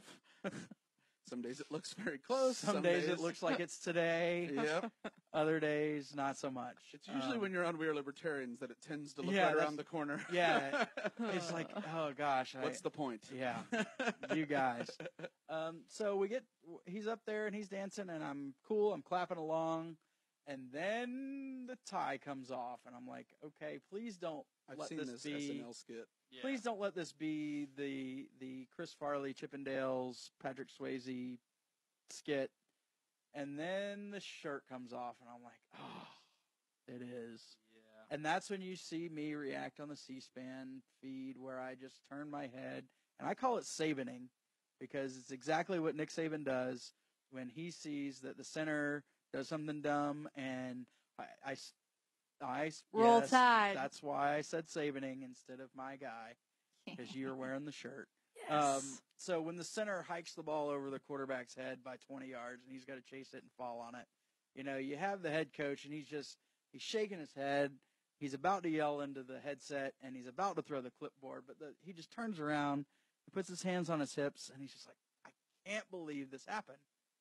That was me, and then I had to. I even had to look back to make sure it was actually happening Soul sucking disgust. and then I, you know, and then I walked away and it continued for another couple of minutes and I'm just thinking the whole time, awesome. Can't Because- wait to ask, be asked to comment on this one. Because I knew that's exactly what was happening and it happened when I was on Abdul's show. It happened, I had about a hundred people within it- the next 24 hours that said that they saw me on the news, whether it was MSNBC or O'Reilly or Fox News or just saw the C-SPAN coverage. So I, and I had a couple of people who captured it and shared it with me so that I, we could create that wonderful gift. There's a GIF at the We Are Libertarians Twitter. Yep. It's awesome. it is, and Unexpectedly repulsed Bittner. repulsing at his own pace. Yep. Um, but you know, at the end of the day, I, I don't know that it necessarily helps or hurts libertarianism, helps or hurts the Libertarian Party. Um, It's an unnecessary talking point for our detractors. but you know what? I'm I'm embracing a lot more of the no more excuses, Mhm. and I believe that that is just going to be another excuse that people have. It's going to be, you know, I can't vote for your guy because it means Hillary wins, or I can't vote for your guy because it means Trump wins, or I can't vote for your guy because it means Pence wins, or I can't vote for your guy because it means Greg's win. You know what? I'm tired of hearing it. I'm tired of hearing the excuses. Like, and if something like that is yeah. going to be what turns you off, then We never had you anyway. right, you were never gonna. You were you were gonna. You were looking for something. hmm You were looking for an excuse to not participate. You were looking for an excuse not to jump on board. You were never going to be on board, and so I, I don't know that it it really hurts anything. Yeah, it's Yeah. a convenient out. Right. So uh, Joe Hauptman, the state chair of Indiana, said, you know, uh, Dave Berglund, I think it was Dave, used to walk up to people and say, when they give him that excuse, go, all right, well, when you're done being a pussy, uh, then let me know, and we can we can uh, finally win. I'm not sure That's that's, that's the not right approach. that's not quite what happened with with. And I don't know that it was Berglund, but it was something about how well in, in my heart I'm a libertarian, and I think it was actually Aaron Russo, but I'm not 100 percent sure. Said that sounds right. when well when you're a liber- when it gets to your balls, let me know. Oh, okay. I think that's the actual like introduction that a lot of people have. When you grow some balls, I When- think is actually what he said. Not when you're done being a pussy. That was Gary Johnson. Oh. You're right. Yeah. Oh yeah. yeah. yeah, Mhm. well, and he was talking about Trump. Uh, breaking news you, you've seen by now, I'm sure, on your smartphone. Uh, Hillary Clinton is officially the Democratic nominee. Oh, Oh, California dear. results. Yep, and officially beat Bernie Sanders. So, um, uh, yeah. So weeks. I was surprised at how far this strip tease thing went. And it was here on all the local TV stations. Mhm. You know, a- a- and you. c- It, and it is. You're right. It's an excuse. Well, they're just not taken seriously. They're just, and it's Republicans trying to like foment some sort of lack of seriousness, which couldn't be further from the truth. And it just is them trying to d- diminish the credibility of of an actual force in politics in 2016. And and I would like to point something out, even though I am kind of a scumbag Republican. Um, the MegaCon convention Mhm. was going on at the same time at the Rosen Center. Mhm. And I can't remember what news outlet it was, but you know, MegaCon going on, there's people walking around in Cosplay. costumes, Yep. you know, just looking all crazy. And I believe there was a news outlet I heard from someone that came over that had a camera pointed at some of the people that were in costumes and said, "Oh yeah, these are the kinds of people that attend the Libertarian National Convention." Uh, And it's one of those things where it's like, look, okay, if you don't necessarily agree with this political party, like don't go out of your way to try to discredit it. No, but it's in only any way. from here. You know, oh, of never- course, of course, a- but you know a a lovable side, uh, a lovable. Um, we're Well, like your little cousin. yeah, the Yeah. non-threatening. Oh, aren't they entertaining? You know, But we're Exactly. beyond Yeah. the laugh at us. Well, yeah, we're at the Yeah. stage now where we're we're a perceived real threat. and they're going to start The- fighting. The, two Yep. major parties have elected the two most unlikable and highest uh, highest un, uh, unfavorability ratings in American history as nominees of the two major parties. right. The Never Trump movement's real. The Libertarians have nominated the only executive, um, or who's proven executive of a governing institution in American politics right now, Two and they them. have two of them, and they're both reelected in blue states. So it shows that they have an ability to reach compromise with their governing framework. The other two major parties don't, and so the light the light couldn't be brighter. Yep. Yeah. Oh, it yeah. cannot be. And so, like, I, I understand the stuff about, you know, I do understand it is a convenient excuse for people who are never going to join anyway, because it is. Right. But it also requires an absolute condemnation by the people who've spent years, because it isn't, it isn't a slight to you that the, those people were never going to vote for us anyway. They're looking for any out. Right. But what he did to people that have worked very hard for no thanks, spent a ton of money, and have spent every day bringing credibility early on was hell bent against receiving it, or was didn't wasn't sure if they wanted to become.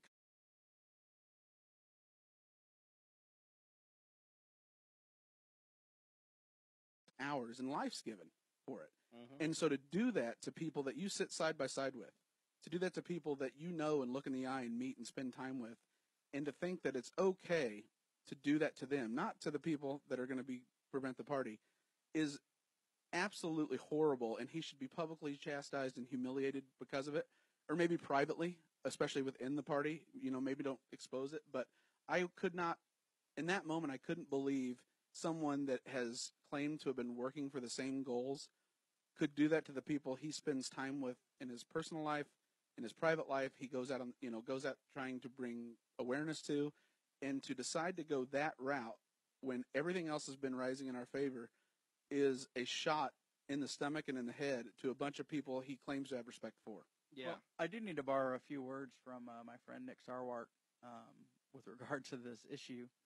Um, there are a lot of jokes in politics and people that are making light of politics.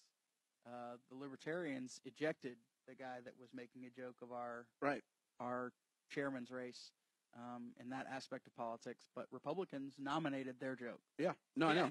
And I, I'm. I'm not criticizing. He's making a joke of the political process, and he became the Republican nominee. At least our guy was ejected from the convention. What? No, and it's a stand up to you. I'm just saying, like, I think Oh, yeah. James didn't, it- you know, it was handled privately, He, but it, so it- he it- was, but he needs to be, he I needs didn't know to be, that. Hold oh on. yeah, he was ejected, really. Yes, he was. He was ejected from the convention, deported, if you will. Good. and he was he Sent was back. ejected and and was not allowed to hit the floor on Monday either. Good. Um, there are a lot of people talking about different things, and um, I happen to be aware of them as serving on the national committee representing the state where he's from. Um, so I know, you know, some of the, the back channel stuff that's Hmm. occurring, um, and I can't share any of it because it hasn't happened, or, you know, I, I want to make sure that it does before I say a word. Yeah. And that there speaks- a lot of things. you know, so much about the leadership of the party, you know, because it says that, listen, we're not going to tolerate this, even though we're, we are a private organization, we believe in voluntary association, but we're not going to be held hostage by martyrs through a private organization. Yeah. We're serious about where we're going. If you don't like it, you are free to start a new coalition and take from the members here, and see if you can convince them to join them. And we're not going to we're not going to wage war against you. We Mhm. support you because you know you think that's the best way to champion liberty. We're just not willing to destroy our brand because you have a slight. It's a it's an imp- um, hugely impactful moment. Uh, I, I think that it is, yeah. This election cycle is hugely impactful. This particular story was low impact. But this needs to be a lesson to libertarians across the nation to get your crap straight. Because people are actually paying attention. I, I, I they think, couldn't be more dying for an, a grown-up alternative right. to people that have a plan forward because they see that there isn't a good choice in this election if you're going to look at the two major parties. Right. There is not. There isn't a choice that really touches people on a personal level and that causes them to have hope. It's the lesser two evils. Gary Johnson represents that hope. Right. His plan has to speak to the people looking for a credible third option that actually believes he believe he can do it. And this guy can point to how he did it. So can his vice president. And you see these two guys and you think, wow, that's totally rational, reasonable, and this is what I believe in my personal life. You know what? I can do this. I can make that leap.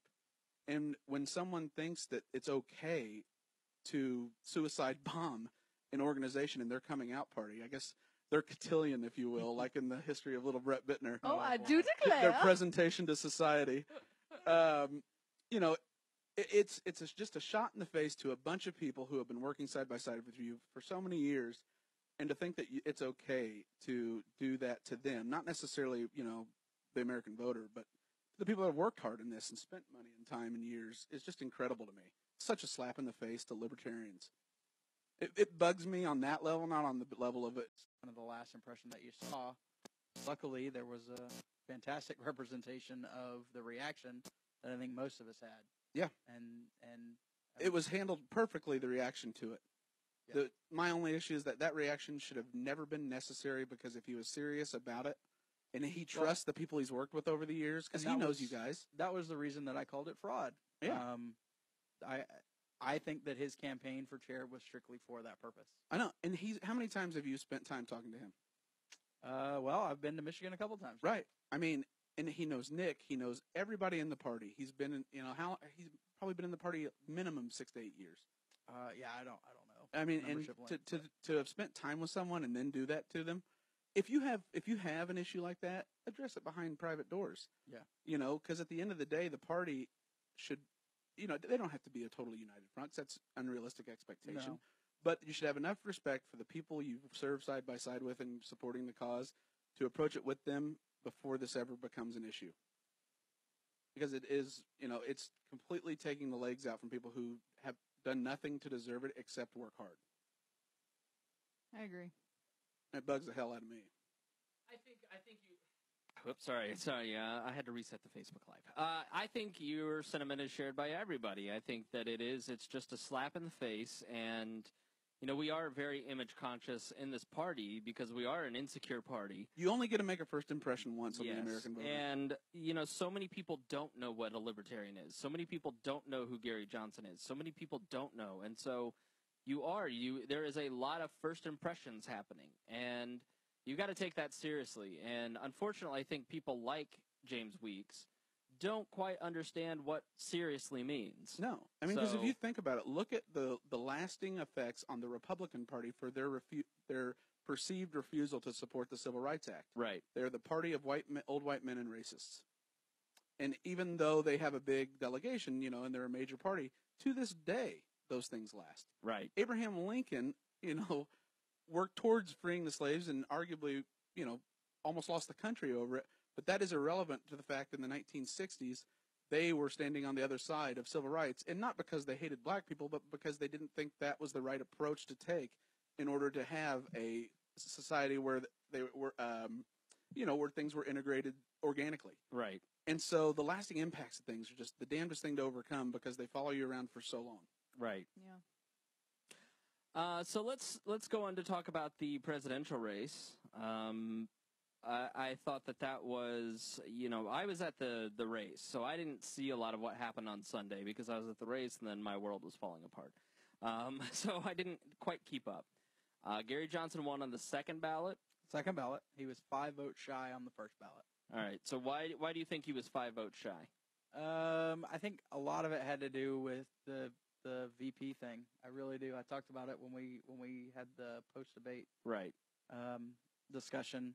I think that it was just a lot of people that were voicing their frustration over the idea that you have another Republican governor very similar to him. He's he's kind of picking the guy that he wants to run with rather than letting the delegates decide and um you know it was it was kind of okay when it was Judge Gray in 2012 because Right. Judge Gray was a known quantity to us.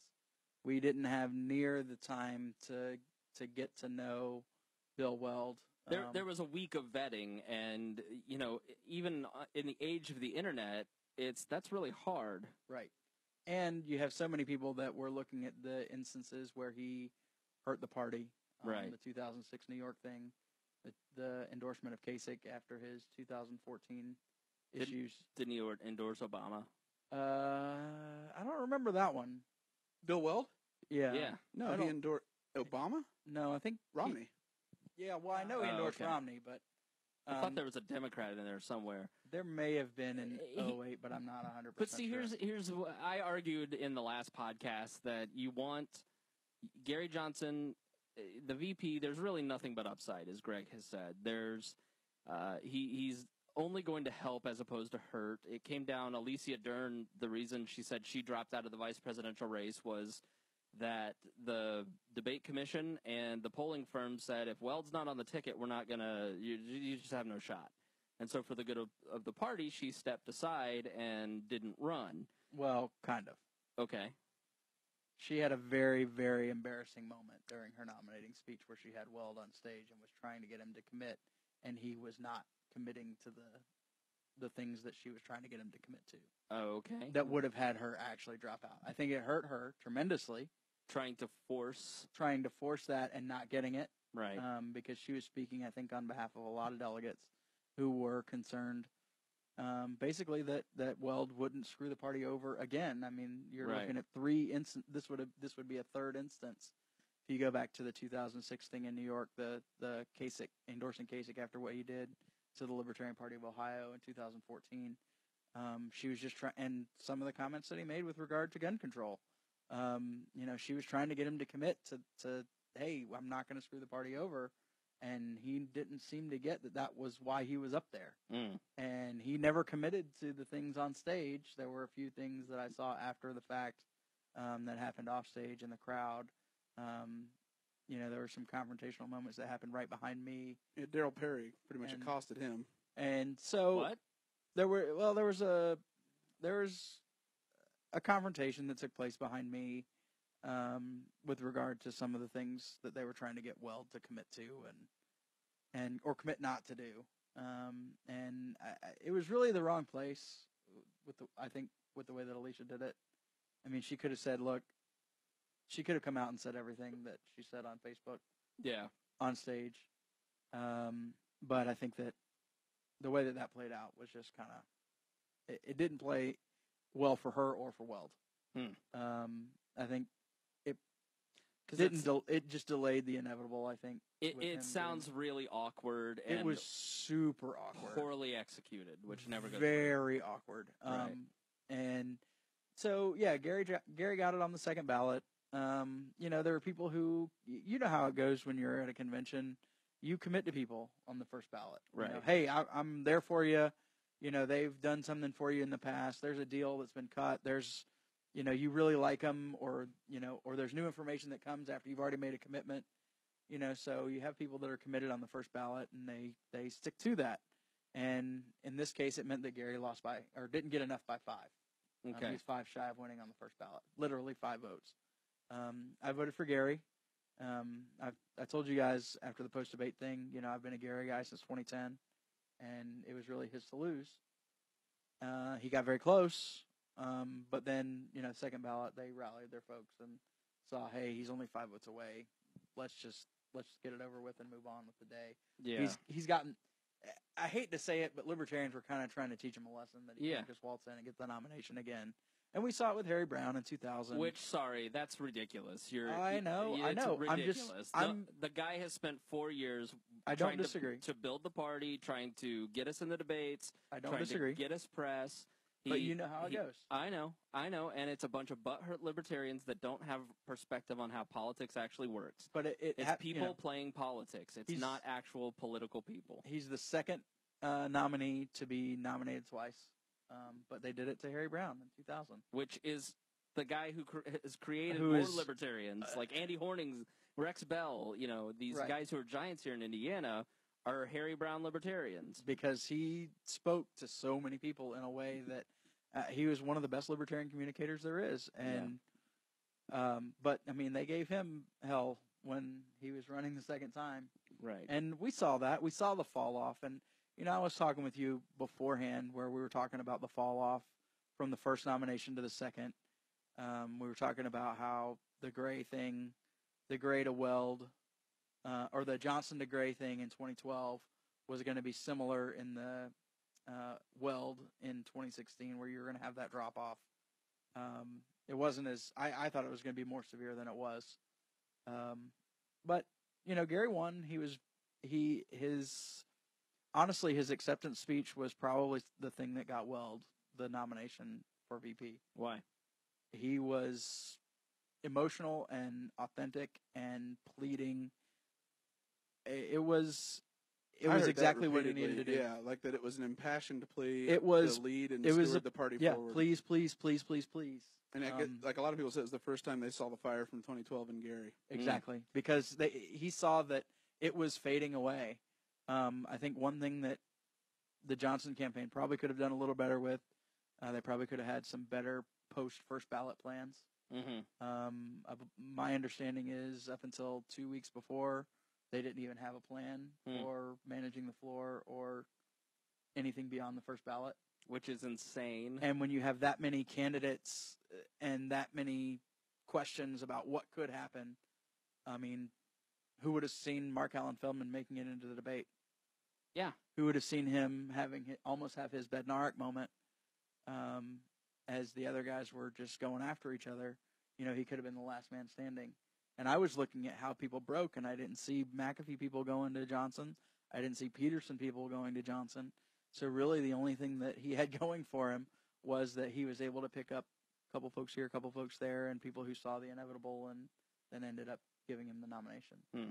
And and he also got some of those second ballot you know, they were committed to somebody else on the first, and then he got them on the second. Yeah, Right. They were unbound, basically. Right. And I mean, not that anybody's bound. You're all individuals. There's no unit voting or Yeah. anything like There's that. There's no but, formal bound but process. you've you've committed yourself, and you know, you you don't as a libertarian. One of the most important things is to do what you say you're going to do. So, what is the feeling amongst the McAfee and the Petersen people? Because they were very passionate. They were. Um, Petersen is on board. I mean, he's there to help now. I saw he endorsed Gary, but He did. But that doesn't necessarily mean that the faithful are going to follow through. What are they? no, what are not they necessarily. Uh, you know, there's still some people who are feeling out what they're going to do and whining and complaining about the outcomes, and that happens every time. We saw that here in Indiana with the contested gubernatorial race. Um, not everybody's going to be friends by the end of the day, or by the end of the weekend, or by the you know next weekend, or in some cases two months later. But um, you know that's kind of to be expected. You get very wrapped up and emotional. You get very committed to the person that you were supporting, and it's hard to, you know, you see your guy as as a saint, you see the other guy as goofy, um, and, and and I mean goofy like the Disney character, um, you know, just kind of a buffoon, and you don't really, you don't really, it's hard for you to turn that switch. Yeah.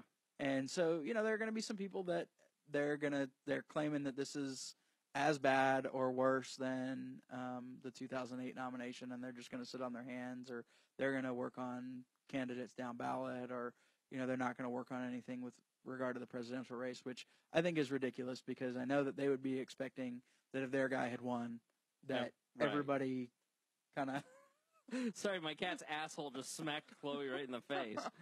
That's so you know if if their guy had won they'd be expecting everybody to jump on board um, and then you have the the people who don't understand that when you lose you don't necessarily get to join the winning team right. um, they you know they They're expect stunned to realize that elections have consequences. right In a party where it historically hasn't. well and exactly because when you're when you're on the losing team you don't immediately get a leadership position in the winning team Yeah. that that's not how it works because you lost because you didn't do as well whether it was your choice of candidate or So- not sending out enough Why would we Mailers. expect that you could right now jump to the top of the leadership committee? now there are some people that that are you know they're they've they've quickly hopped on board and they were ready to go and they've got positions with with the campaign because let's face it there are essentially 50 statewide campaigns that are happening for Gary and for Governor Weld That are getting set up and implemented right now. Exactly. And so, you know, there are people that are going to be they're going to be a part of the Johnson campaign. There are people that are going to be crying and whining until November and they're going to cast their vote for him and then, you know, when the results aren't what people think that they might be, they're going to they're going to play a lot of the I told you so card and and I have to point out that there's not any value in I told you so's. Nope. Um, you know, I I've seen many times where what I thought was going to happen happened and I could have told you, but at the end of the day, for me, what good does it do to say, "Hey, I told you that you were wrong. I told you that you were, you know, you didn't have this, you didn't have that. Um, you know, you weren't doing this right." It doesn't do anything because the results have already happened. Honestly, you can kiss my ass. Like, if you're not going to get involved and you're just going to sit on the sideline and criticize, you know, I, I mean, at the, uh, I've been listening to a lot of Brene Brown this week, uh, The Power of Vulnerability. You can get it on Audible. Get a free audiobook on We Are Libertarians at WeareLibertarians.com and get The Power of Vulnerability. It's very good. Uh, you know, at the end of my life, I want to have uh, stood in the arena and participated far more than I stood on the sidelines and criticized. You know, Yep. and it is it is easy to stand on the sidelines and criticize because you risk nothing.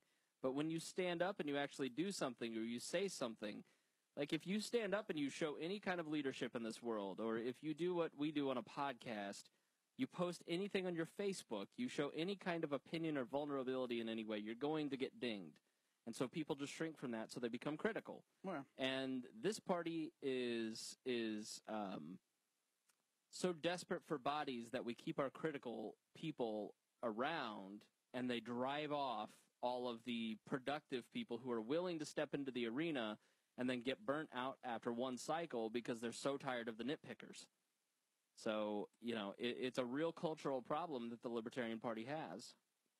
it's a growth issue because it's you know it's crossing the it's crossing that threshold from we haven't had to put ourselves out yet. It's been easy. Yeah. It's been easy to throw bombs from the, the cheap seats because there hasn't been a realistic chance of being caught and noticed on Meet the Press like Gary did yesterday. Right. We haven't had to lay out legislation and a poli- and an agenda for what we would accomplish and how we would accomplish it.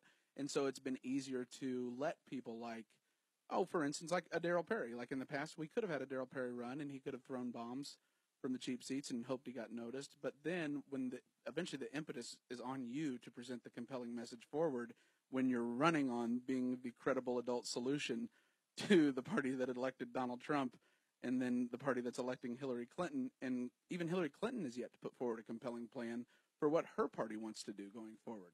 She doesn't want to be like President Obama because she has to offer something different and he hasn't been the liberal icon that he's portrayed himself to be. And then you have Donald Trump who hasn't he hasn't issued a ton of policy initiatives, but he at least said this is where I want to go. But no one really quite believes it yet. You know, there's still a lot of people that just aren't sure that's what he actually wants to do because they can't tell whether he will stand by that decision now. Whereas you have two two-term governors from Democratic states where they were both resoundingly reelected, they aren't pure, they aren't perfect, and we don't know it's whether they actually aren't perfect or whether they're not perfect for political reasons that appeal to the average voter who isn't sure about libertarianism.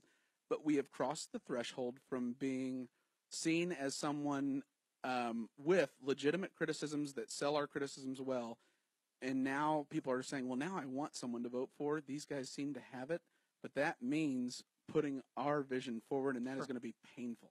Well, and you know, one of the things that I I can say, having stood as a candidate, um, you're going to agree with only one person 100% of the time, and that's yourself. And for those of us who've been candidates, Mhm. we've had the the opportunity to vote for ourselves, but that is literally the only time I've ever voted for anyone that I agree with 100% of the time Exactly. there are going to be compromises that you have to make. And at this point, it, when I was talking with the Boston Globe uh, about the, the nomination before it happened, uh, they were talking about Weld. They wanted to kind of get an on the ground view.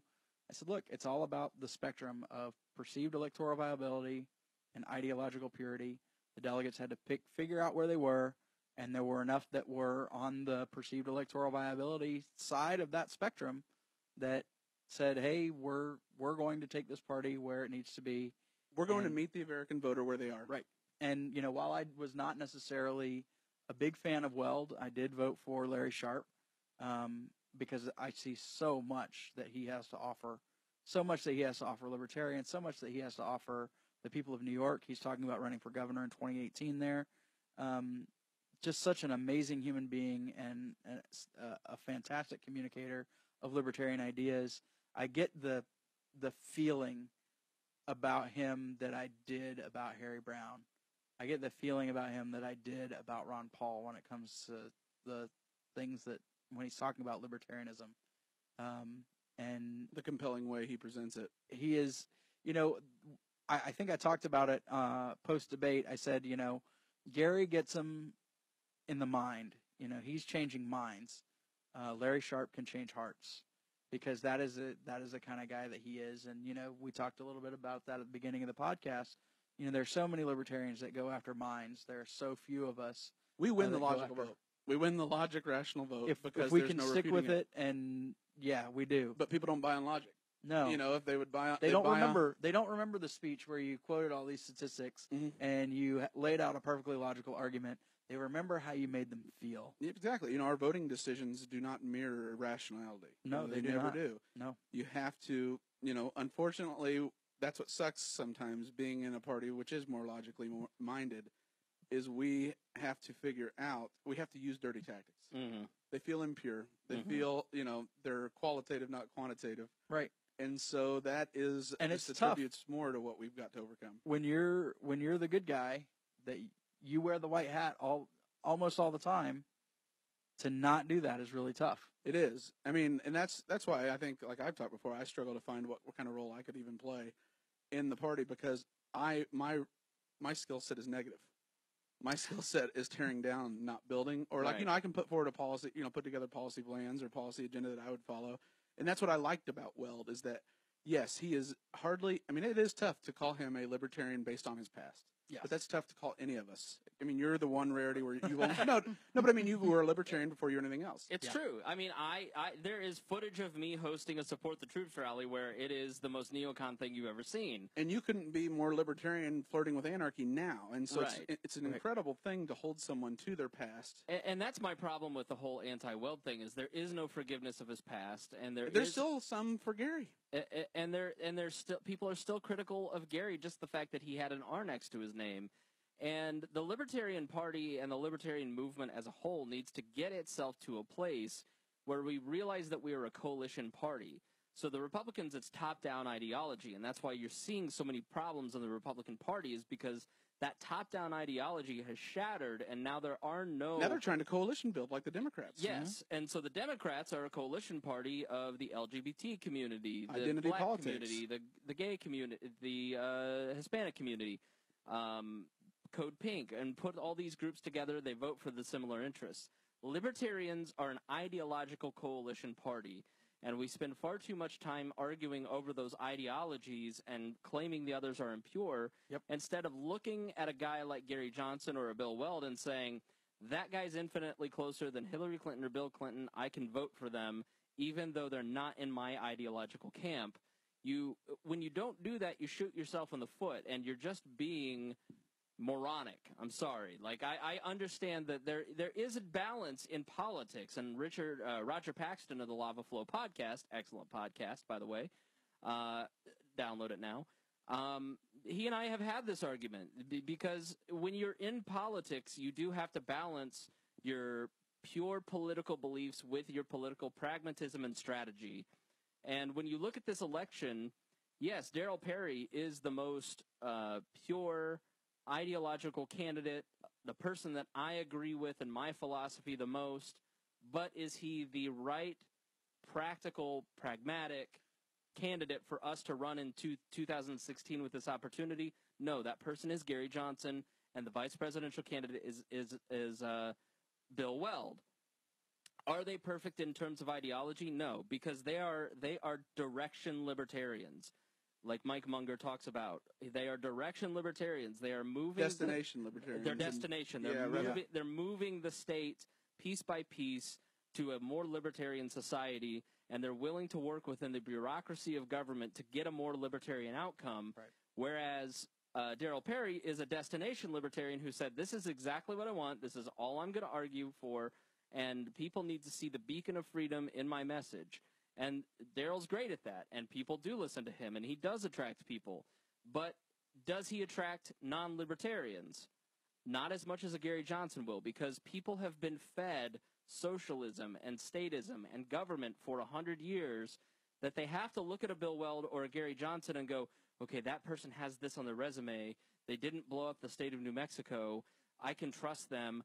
I just need, we just need these people to press the L button one time and get them to start conditioning for it. And we can't shoot ourselves in the foot with a, with a John McAfee. I'm sorry. He's not an electable guy. He was talking about the broad philosophy of libertarianism. He's not talking about specifically specific policy points. When you watched the vice presidential debate, I was very impressed by Larry Sharpe. But again, it was broad libertarian politics, broad libertarian messages.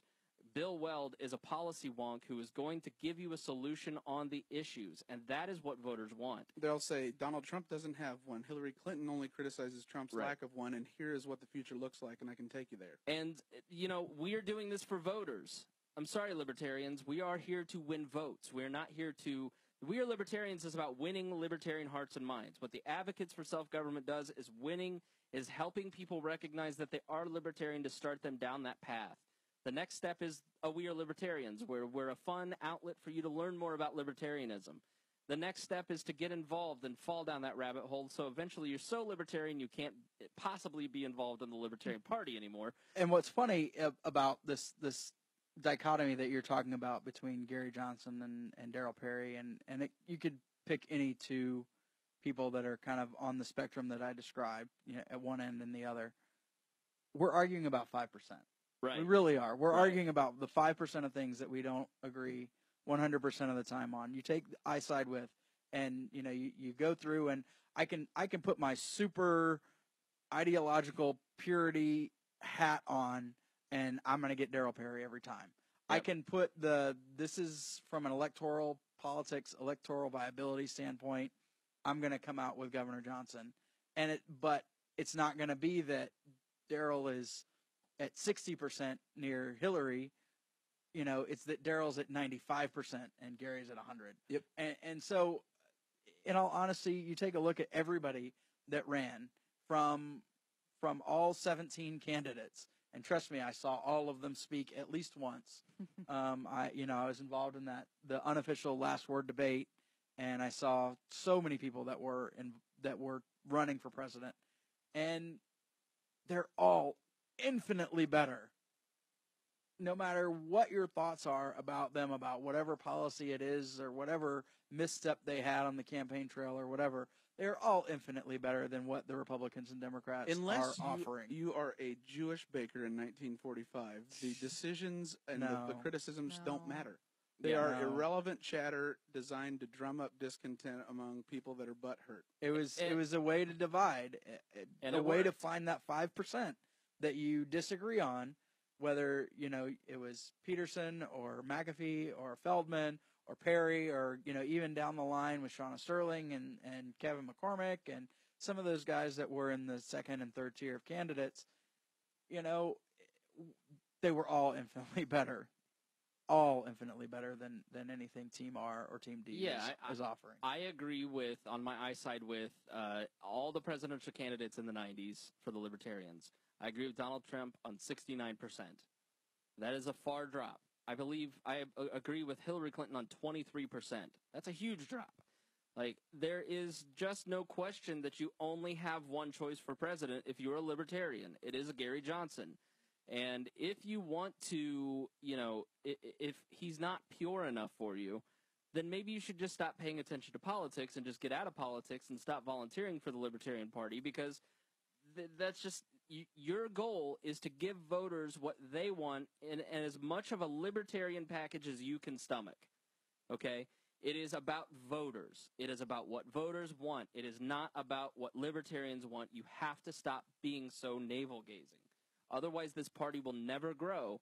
And the the uh, like that's if you want to attack Gary Johnson, then don't call yourself a libertarian person, a party member anymore. Like it's like he is the candidate. If you are involved in the if you are involved in the in the power structure in a leadership position within the Libertarian Party, you should be supporting Gary Johnson. And for the most part, they are. And and if you don't, then you should not have a leadership position in the Libertarian Party. You can be a libertarian and not be part of the Libertarian Party. You can go be a Trump voter and be a libertarian, I guess. You can go be a nobody. You can be like my former intern Lauren Rumpler and say voting is violence and you're not going to vote and you're just forcing. That's fine. Yeah. There's no shame in any of that. No. But there should be a level of shame if you are a leader in the party and you're not supporting your top of the ticket candidates because you are part of an organization that you, you an organization a house divided cannot stand. That's just plain and simple. No, because we have a hard enough time. And you know, Yeah. one of the things I looked in the news coverage was I, I kind of expected the news coverage on the right because the right tends to see the liberty one of their formerly owned are going to be more hostile to the libertarians lo- nominating Weld and Johnson. And so a lot of that was they focused on the, you know, um, James Weeks. And yet, then I was like, well, you know what? I'm not going to read that because I, I know what that is. Like, you know, everyone knows what their point is and why it's it's written out of fear. So I was like, I'm going to read Slate and The Atlantic, and primarily those to see what the, the feedback was. And it was shocking that their coverage was primarily about Johnson not winning on the first ballot and almost saying libertarians have this moment. Like they were sympathetic that libertarians are on this precipice of something that can be grown and as a viable option in the absence of a conservative option. And yet, um, I think it was three out of four articles that all came out the day after were asking, ending their article asking the same question: Should the libertarian presidential and vice presidential nominees leave the party behind? Yeah. And that is the exact opposite of what we should be trying to do. Right. You know that right there should send tremors to everyone. You know that is that has been throwing un, uh, unjustified blows at Johnson and Weld. Holy crap! We're on. They're actually paying this close of attention, and now they see cracks that I helped cause. That should be a awake. You know, should waken them up and make them want to say, "Listen, I need to get in line I'm gonna, you know, I'm gonna stop criticizing Gary, and I'm gonna start talking. Maybe you don't sing his praises, but you at least talk about how the Libertarian Party is offering the real solution in the election. There are other ways to talk about the growth in the in the in meeting that moment where the voters seem to want it. Yeah, um, I think this is a good time to get into your. We never got to your perspective on the the convention, Greg. You were there for a brief time, but you have uh, you were like, I don't really think I should share. It's going to be tough love. my my tough love isn't for the libertarian convention as it is i tend to get attacked on where i see the party going in the future so i am all for the libertarian party growing. I'm all i think it's under the best leadership it's ever been on. I think it's making the best decisions it's ever made and taking every step in the right direction to being a viable political party.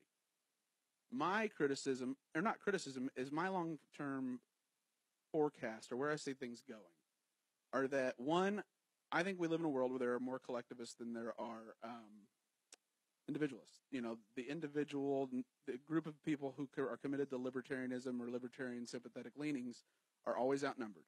You know, the trends of history are always that when you do finally get that small individualist revolution, the collective gangs up back against them because they don't like it or want to force people to live a certain way. And so I see the Libertarian Party growing and growing and growing. I see it becoming a real political party where it starts to, in a three-way races, get tw- between anywhere between 25 and 35 percent of every vote. Um, with the Republican, you know, flip-flopping between that 25 and 35, but then the Republican al- or the Democrat always taking 40. The collective outnumbering the individual, I can see a point where the Republican Party and the Libertarian Party look at each other and say, God, we just keep getting our asses handed to us by 5% and not being in the arena because we're losing. How can we turn turn this tide? And I think it is that the libertarian message and ideology becomes the replacement for the leftover remnants of the political party of the GOP towards its inevitable death. Yeah, You know, I can see it happening one of two ways where the libertarians are ushered in as the ideolo- the replacement for conservatism in the ideological foundings of the party, but I think it would be too tough of sell to too many. And so it's like when the Whigs split up. Um, the the par- the major party has to go because of just years of bad feelings Just bad- towards the bad, But- bad branding. right. And so then you had the Free Soilers, and so the Free Soilers and the Northern Whigs ended up the foundations of not even right away the new Republican Party. It was the National Union Party that Lincoln ran on. And so I'm I foresee the destiny of the individualist movement within American politics being not necessarily the Libertarian Party in the long run. It might be a Constitution Party. It might be Right. a a Liberty Party. I, I because the the formation of the Republican Party was around a single issue, which was Slavery. it wasn't just slavery; it was the the th- not the Three Fifths Compromise, Missouri the- Compromise. the Missouri Compromise. It was on a specific issue that was very hotly debated in that time, and all these disparate groups came together and said, "This is a major issue that we all agree on. We need to coalesce around this issue." And I could see uh, the national debt being the issue that can kind of coalesce all these conservative, right-leaning groups and libertarians into a single force if they can just stop biting each other's face off. Well, it's just the social issues that split them. I mean, Right. granted, it's our perception of government because Republicans at the local levels are every bit as statist as Democrats are at the national levels. right. And so that's the hypocrisy is that they run on being small government constitutional conservatives, and yet they hold press conferences celebrating HUD funds coming into their communities ushered in by a Republican mayor. So the reality is the Re- the Republican Party, like we talked about last episode, is intellectually bankrupt. It's no longer philosophically driven. It's playing identity politics, and there has to be an ideological replacement. And the only one that even looks remotely close to something tolerable and stum- that can be stomached by the old gray hairs that make it up is a focus around economic issues only, and then an abandonment of social issues. But it You has mean to like be, The Tea Party 2010 Republicans uh, and who've completely abandoned the idea of limited government. They were running only on economic issues, Oh, and and now they're uh, uh, Samantha Bee did a fan. You, if you aren't watching Full Frontal with Samantha Bee, and not just because there are going to be libertarians on there um, from the convention at the next couple episodes, but she really did a great job of pointing out that the 2010 Tea Party revolution that kind of never happened, but the people that got elected running solely on the economic issues are now the ones that are celebrating the regulations with regard to the size of the hallways of abortion clinics in Texas and are singing the praises of the transgender bathroom law in North Carolina. These so-called ignoring social issues Republicans that ran on, on the under the guise of limited government and under the guise of economic freedom and only focusing on economic issues. Six years later, they are among the biggest statists, but it's their social issue stuff They're that the new it. culture warriors. Right. Mhm. They are. They're the new cultural warriors that have realized it- it's it is this is the the conundrum of the Republican Party. Everyone loves to talk about the debt and small government, limited government. That doesn't fundraise. Nope. Guns, abortion, those fundraise. It's Yep. the cultural issues, and so they get elected and they inevitably start tacking towards where they can fund, where they can raise money, and their super Sure. Mm-hmm. PACs can raise money, and they're rating with the conservative organizations. And so you have someone like a Ted Cruz, who's supposed, supposedly part of the Liberty Caucus, sounding like Jerry Falwell. You know, you have person after person just abandon the things they promised, including the pursuit of those things, and instead becoming 1994 ditto head Congress Republicans talking about the need to get, um, you know, uh, oh, what was it? The need for uh, America to stop having a disgraceful values in the White House with Bill Clinton and all the awful things he was doing that discredit our nation's standing in the world um, culturally. And until until they get serious about that, or until the the fundraising base dies off, which it every year Yep. it, it just dies and dies and dies, but they still show up on election day for the meantime. We won't we won't reach that point. But that's why I'm pro the Libertarian Party growth. Is because they are the only party of economic true economic uh, non-intervention and Mhm. you know real small constitutionally limited small government, and they will they will grow.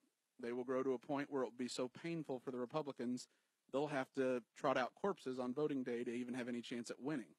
Well, and one of the things that I wanted to throw in there when you were talking about percentages, um, you're talking about it from a plurality state. Mhm. For those of us who grew up in an era where you had to win 50% plus one, you build that coalition and you don't have the Democrats win. Right. If Because you if- can forge it. If you are, if you are in a situation like I was uh, when I ran for office, I wanted to make sure that I won without a runoff. Um, You had to, and or else you wouldn't win at all. Right. And so, you know, it, it the Never Bittner crowd could show up and, and oppose me and, and they could get that 50% plus one. And, and you know how they fundraise. They do. they do a much better job than those terrible t-shirts The at pro Bittner slash Never Bittner. I, I am not pro Bittner just because I bought a T-shirt. Okay. Being pro Bittner is being anti-America. Just because five dollars of Never Bittner went to We Are Libertarians by getting a Never Bittner T-shirt, it does not mean you are supporting Bittner. yes. It is Never Bittner. Hashtag Never Bittner. Follow the forget. money. Follow the money trail. well, do you think we've uh, covered this uh, thing enough today? We've been on for quite a while. hey, Chloe's still Hey here. Awesome. guys, how's it going? How was the trunk? Very dark. No air, no air conditioning. Golf clubs on one side. You know, it happens. Mm. Man, such white male privilege. Yep. Check your privilege. Have- You're a white male. Gosh, you guys are You're a white male. Oh. I am AIDS exhausted. Skrillex. Yeah, the greatest name for a meme ever, right? AIDS Skrillex. AIDS Skrillex and Carl the Cuck. Cucky Tales with Carl the Cuck. AIDS Skrillex was. Uh, I still laugh at that. I know. Chloe, thank you for being here. Hey, I'm. You know, no, I don't. Yeah. I, so what's your deal? yeah. I don't know what's your deal. Did people come up to you at the convention and ask what your deal was? I think the only person that did was Travis. Yeah. because he Ah. just was the one that like really, really listened. But Everybody else asked if they could see your deal. no, everyone not in those words, but a lot of people asked about Lenz and you. Mm-hmm. And then when I Did introduced they hold on? Brett Bittner. Bittner, Did they ask more for me or did they ask more for Greg? I'm not going to tell you. You can't separate I us know. from the podcast. It's because I'm on a weak place, isn't it? You people love Greg more. It, it was. I get it. He's it way more likable than me. It was. oh, I think there's quite a 50-50. long list of people who'd beg to disagree. One of them's running for Senate. Oh, that's Uh, great. All right. Well, I, I think that wraps this up. Yep. I think Yeah. that's about enough of this. Um. All right. Let's uh let's wrap it up. And if you want to promote, self promote anything, I'm sure you do, Chloe. I do. All right. I really do. Let's hear it. So I move into the hotel for Miss Indiana Week this upcoming Sunday. Miss Indiana. Yes, very exciting. Um, excited to represent WAL and my community and everything that I've been doing the last ten years. And your Um, skill is memeing. Memeing, memeing on stage. Yeah. Yes, that's my talent The this art year. of the meme. the art of the meme while playing piano. um, but I'm excited We've been to. working on the slideshow for weeks. Yeah, it's it's just about perfect. But um, excited to finish out the ten years that I've been in the Miss America organization. Um, so it's I'm I'm excited. It's going to be real bittersweet, and the listeners at home have the opportunity to be the sixth judge, if you will, and can vote me into the top eleven. Um, votes are a dollar, and eventually I'll share the link somewhere. Um, and all of that money goes to the Children's Miracle Network. So That's fantastic. always, you know, for the kids. Can't wait to spend some time at Riley's this week with the with my uh, fellow contestants too. Mhm. So Yep. it's going to be really fun. And there is an offer. There's an event that people can come and support you at, right? Yes, I will put that in the group, or we can Best figure that out libertarians somehow. away from that based on your uh, convention experience. The Well, good they news can't is- get is they're- close, and there's security. yeah, so you haven't been be wedding fine. sacked yet, so why Yeah. you know Listen, why risk it? Libertarians, there is a group of hot chicks, young hot chicks, that will be on stage at the Zionsville, Zionsville Performing Arts Center, Performing Arts Center on Thursday. Thursday the 18th, 16th. Tickets are twenty dollars, so borrow it from your mom. Yep. And, and come out and vote for you. Yes. Well, and the vote voting is done online, but if they want to come see me play piano, they can come this Thursday. There's an event next Thursday. Next I'm Thursday. sorry. Go Right. I'm all steal over the yourself place. your own Princess Leia. And Yeah. Chloe's little sister's gonna be there, and I'm gonna sit next to her. We're in love, and you can't stop it,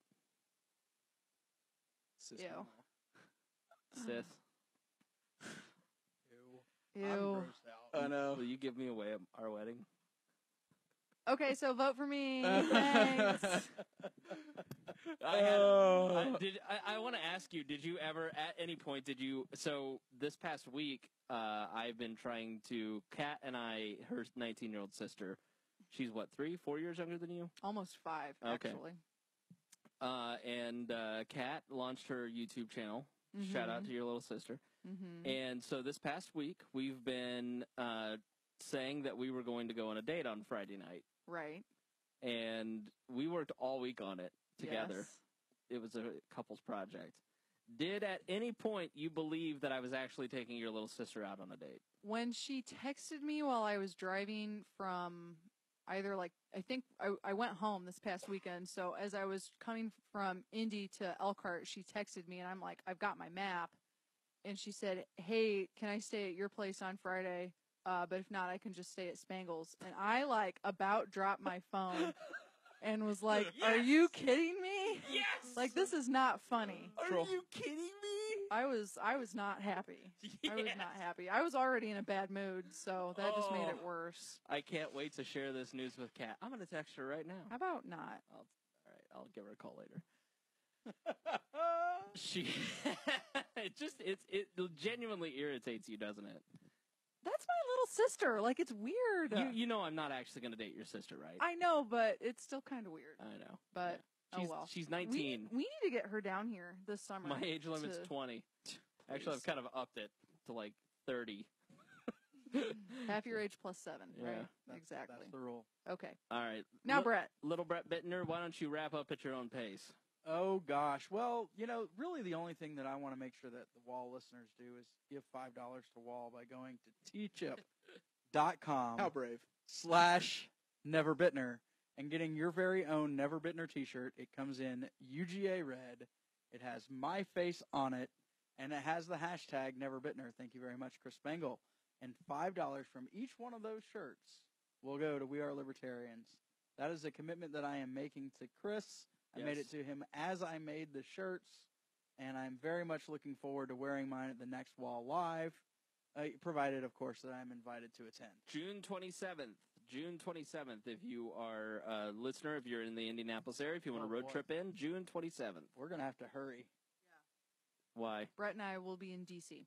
Oh, we yeah. have a blogger activist fly in with FreedomWorks that we'll be flying back in Monday. So hopefully Yeah. we'll be on time. Because we're hopefully we won't have our Orlando uh, four hour delay. Oh my gosh, that was some- terrible. Somebody won't put NSA keywords on your wall. That's why we won't check in until we're actually on the plane. Right. Yep. As someone who has lived that nightmare, I can assure you it will not be I.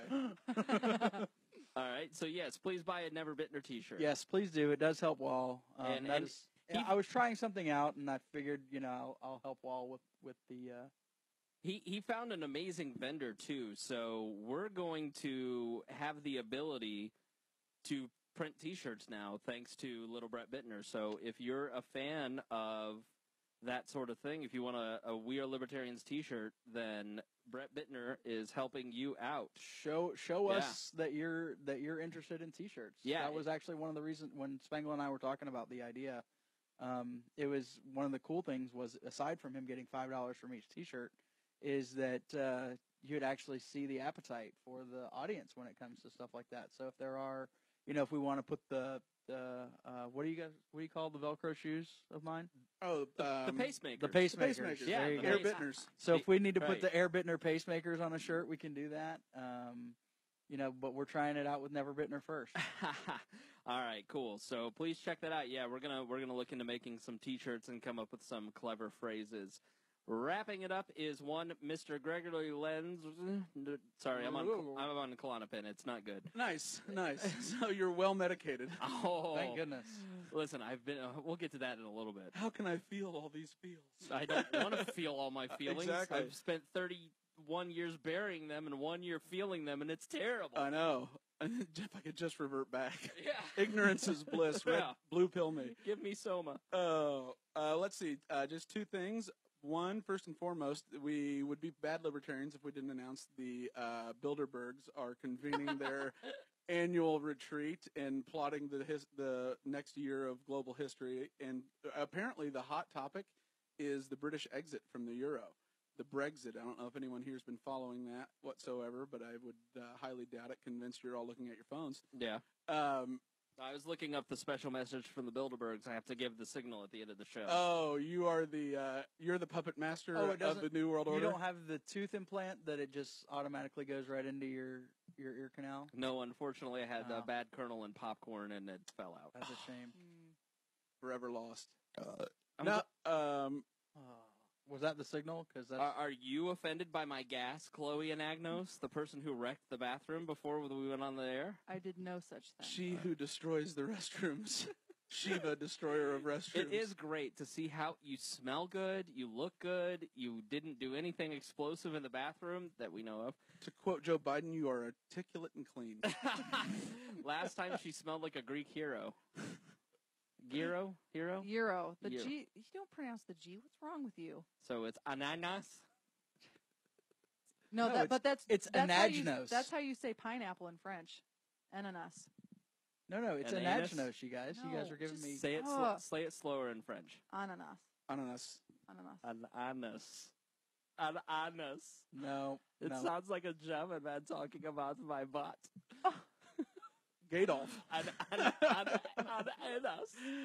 Oh, Oh, God. So the jeez. Bilderbergs. anyway, no, the Bilderbergs, and then that's uh, the Brexit, which is Don't forget Dominic- CFR. Yep. Um, dominating all, yeah, the Council of Foreign Relations. Um, who else did we remember?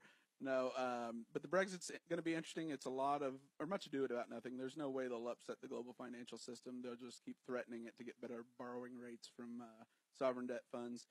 And then, uh, lastly, vote for if you are in District 8. So, if that is your Indiana congressional district, remember to vote for Andrew Horning.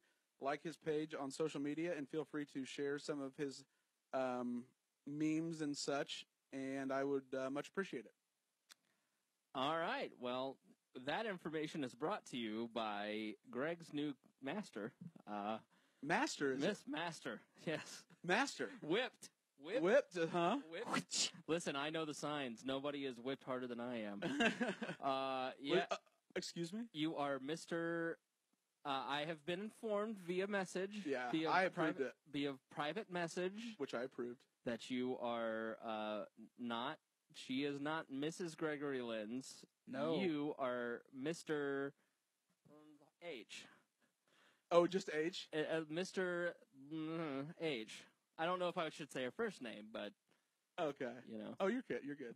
Okay, Mr. Lindsay H. Mr. Lindsay H. Right. Is that right? A kept man. That's Well- that's what I heard. He's been. Has he not spent more time down in the eighth district, How would you know? quote unquote, Mhm. canvassing for votes? Oh, This please week- trust me. After this weekend, it was campaigning hard. I bet it was. What you? Oh my god! I bet it you was. full scale campaign that you launched. it was. It was like a. You know, it felt. It was exciting. It felt exciting that people were so ready for libertarianism to hear it. you were knocking on every door and checking every box. Okay, well, All right. and we wonder why we suck at outreach to women. was that Clearly. was that offensive?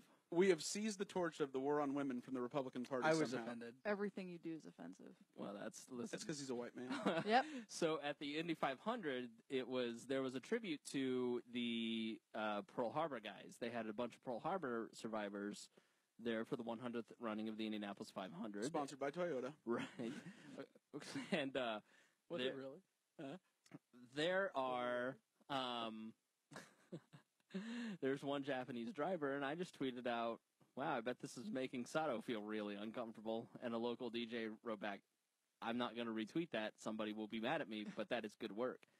And I just said, if somebody's not offended, you're not doing your job, young man.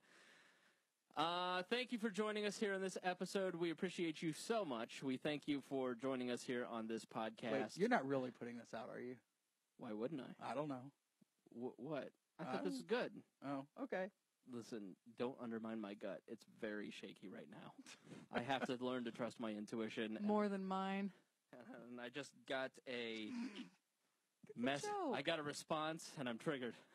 So Good. What? nothing. All right, guys. I'll uh, I'll talk to you later. It is great to see you. Thank you for being here, Chloe. You look uh, absolutely thrilled. We'll we'll be there to support you. And uh, yeah, and we're gonna be there to support little Brett Bittner as always by buying a T-shirt. And Greg, we're gonna be there to uh, help you pick up trash on the side of the road in Owen County. Owen County. Owen County. So, all right, thanks guys for joining us here on this episode of We Are Libertarians. Love you so much. Uh, this was a shit episode, and as always, we promise To do better next time.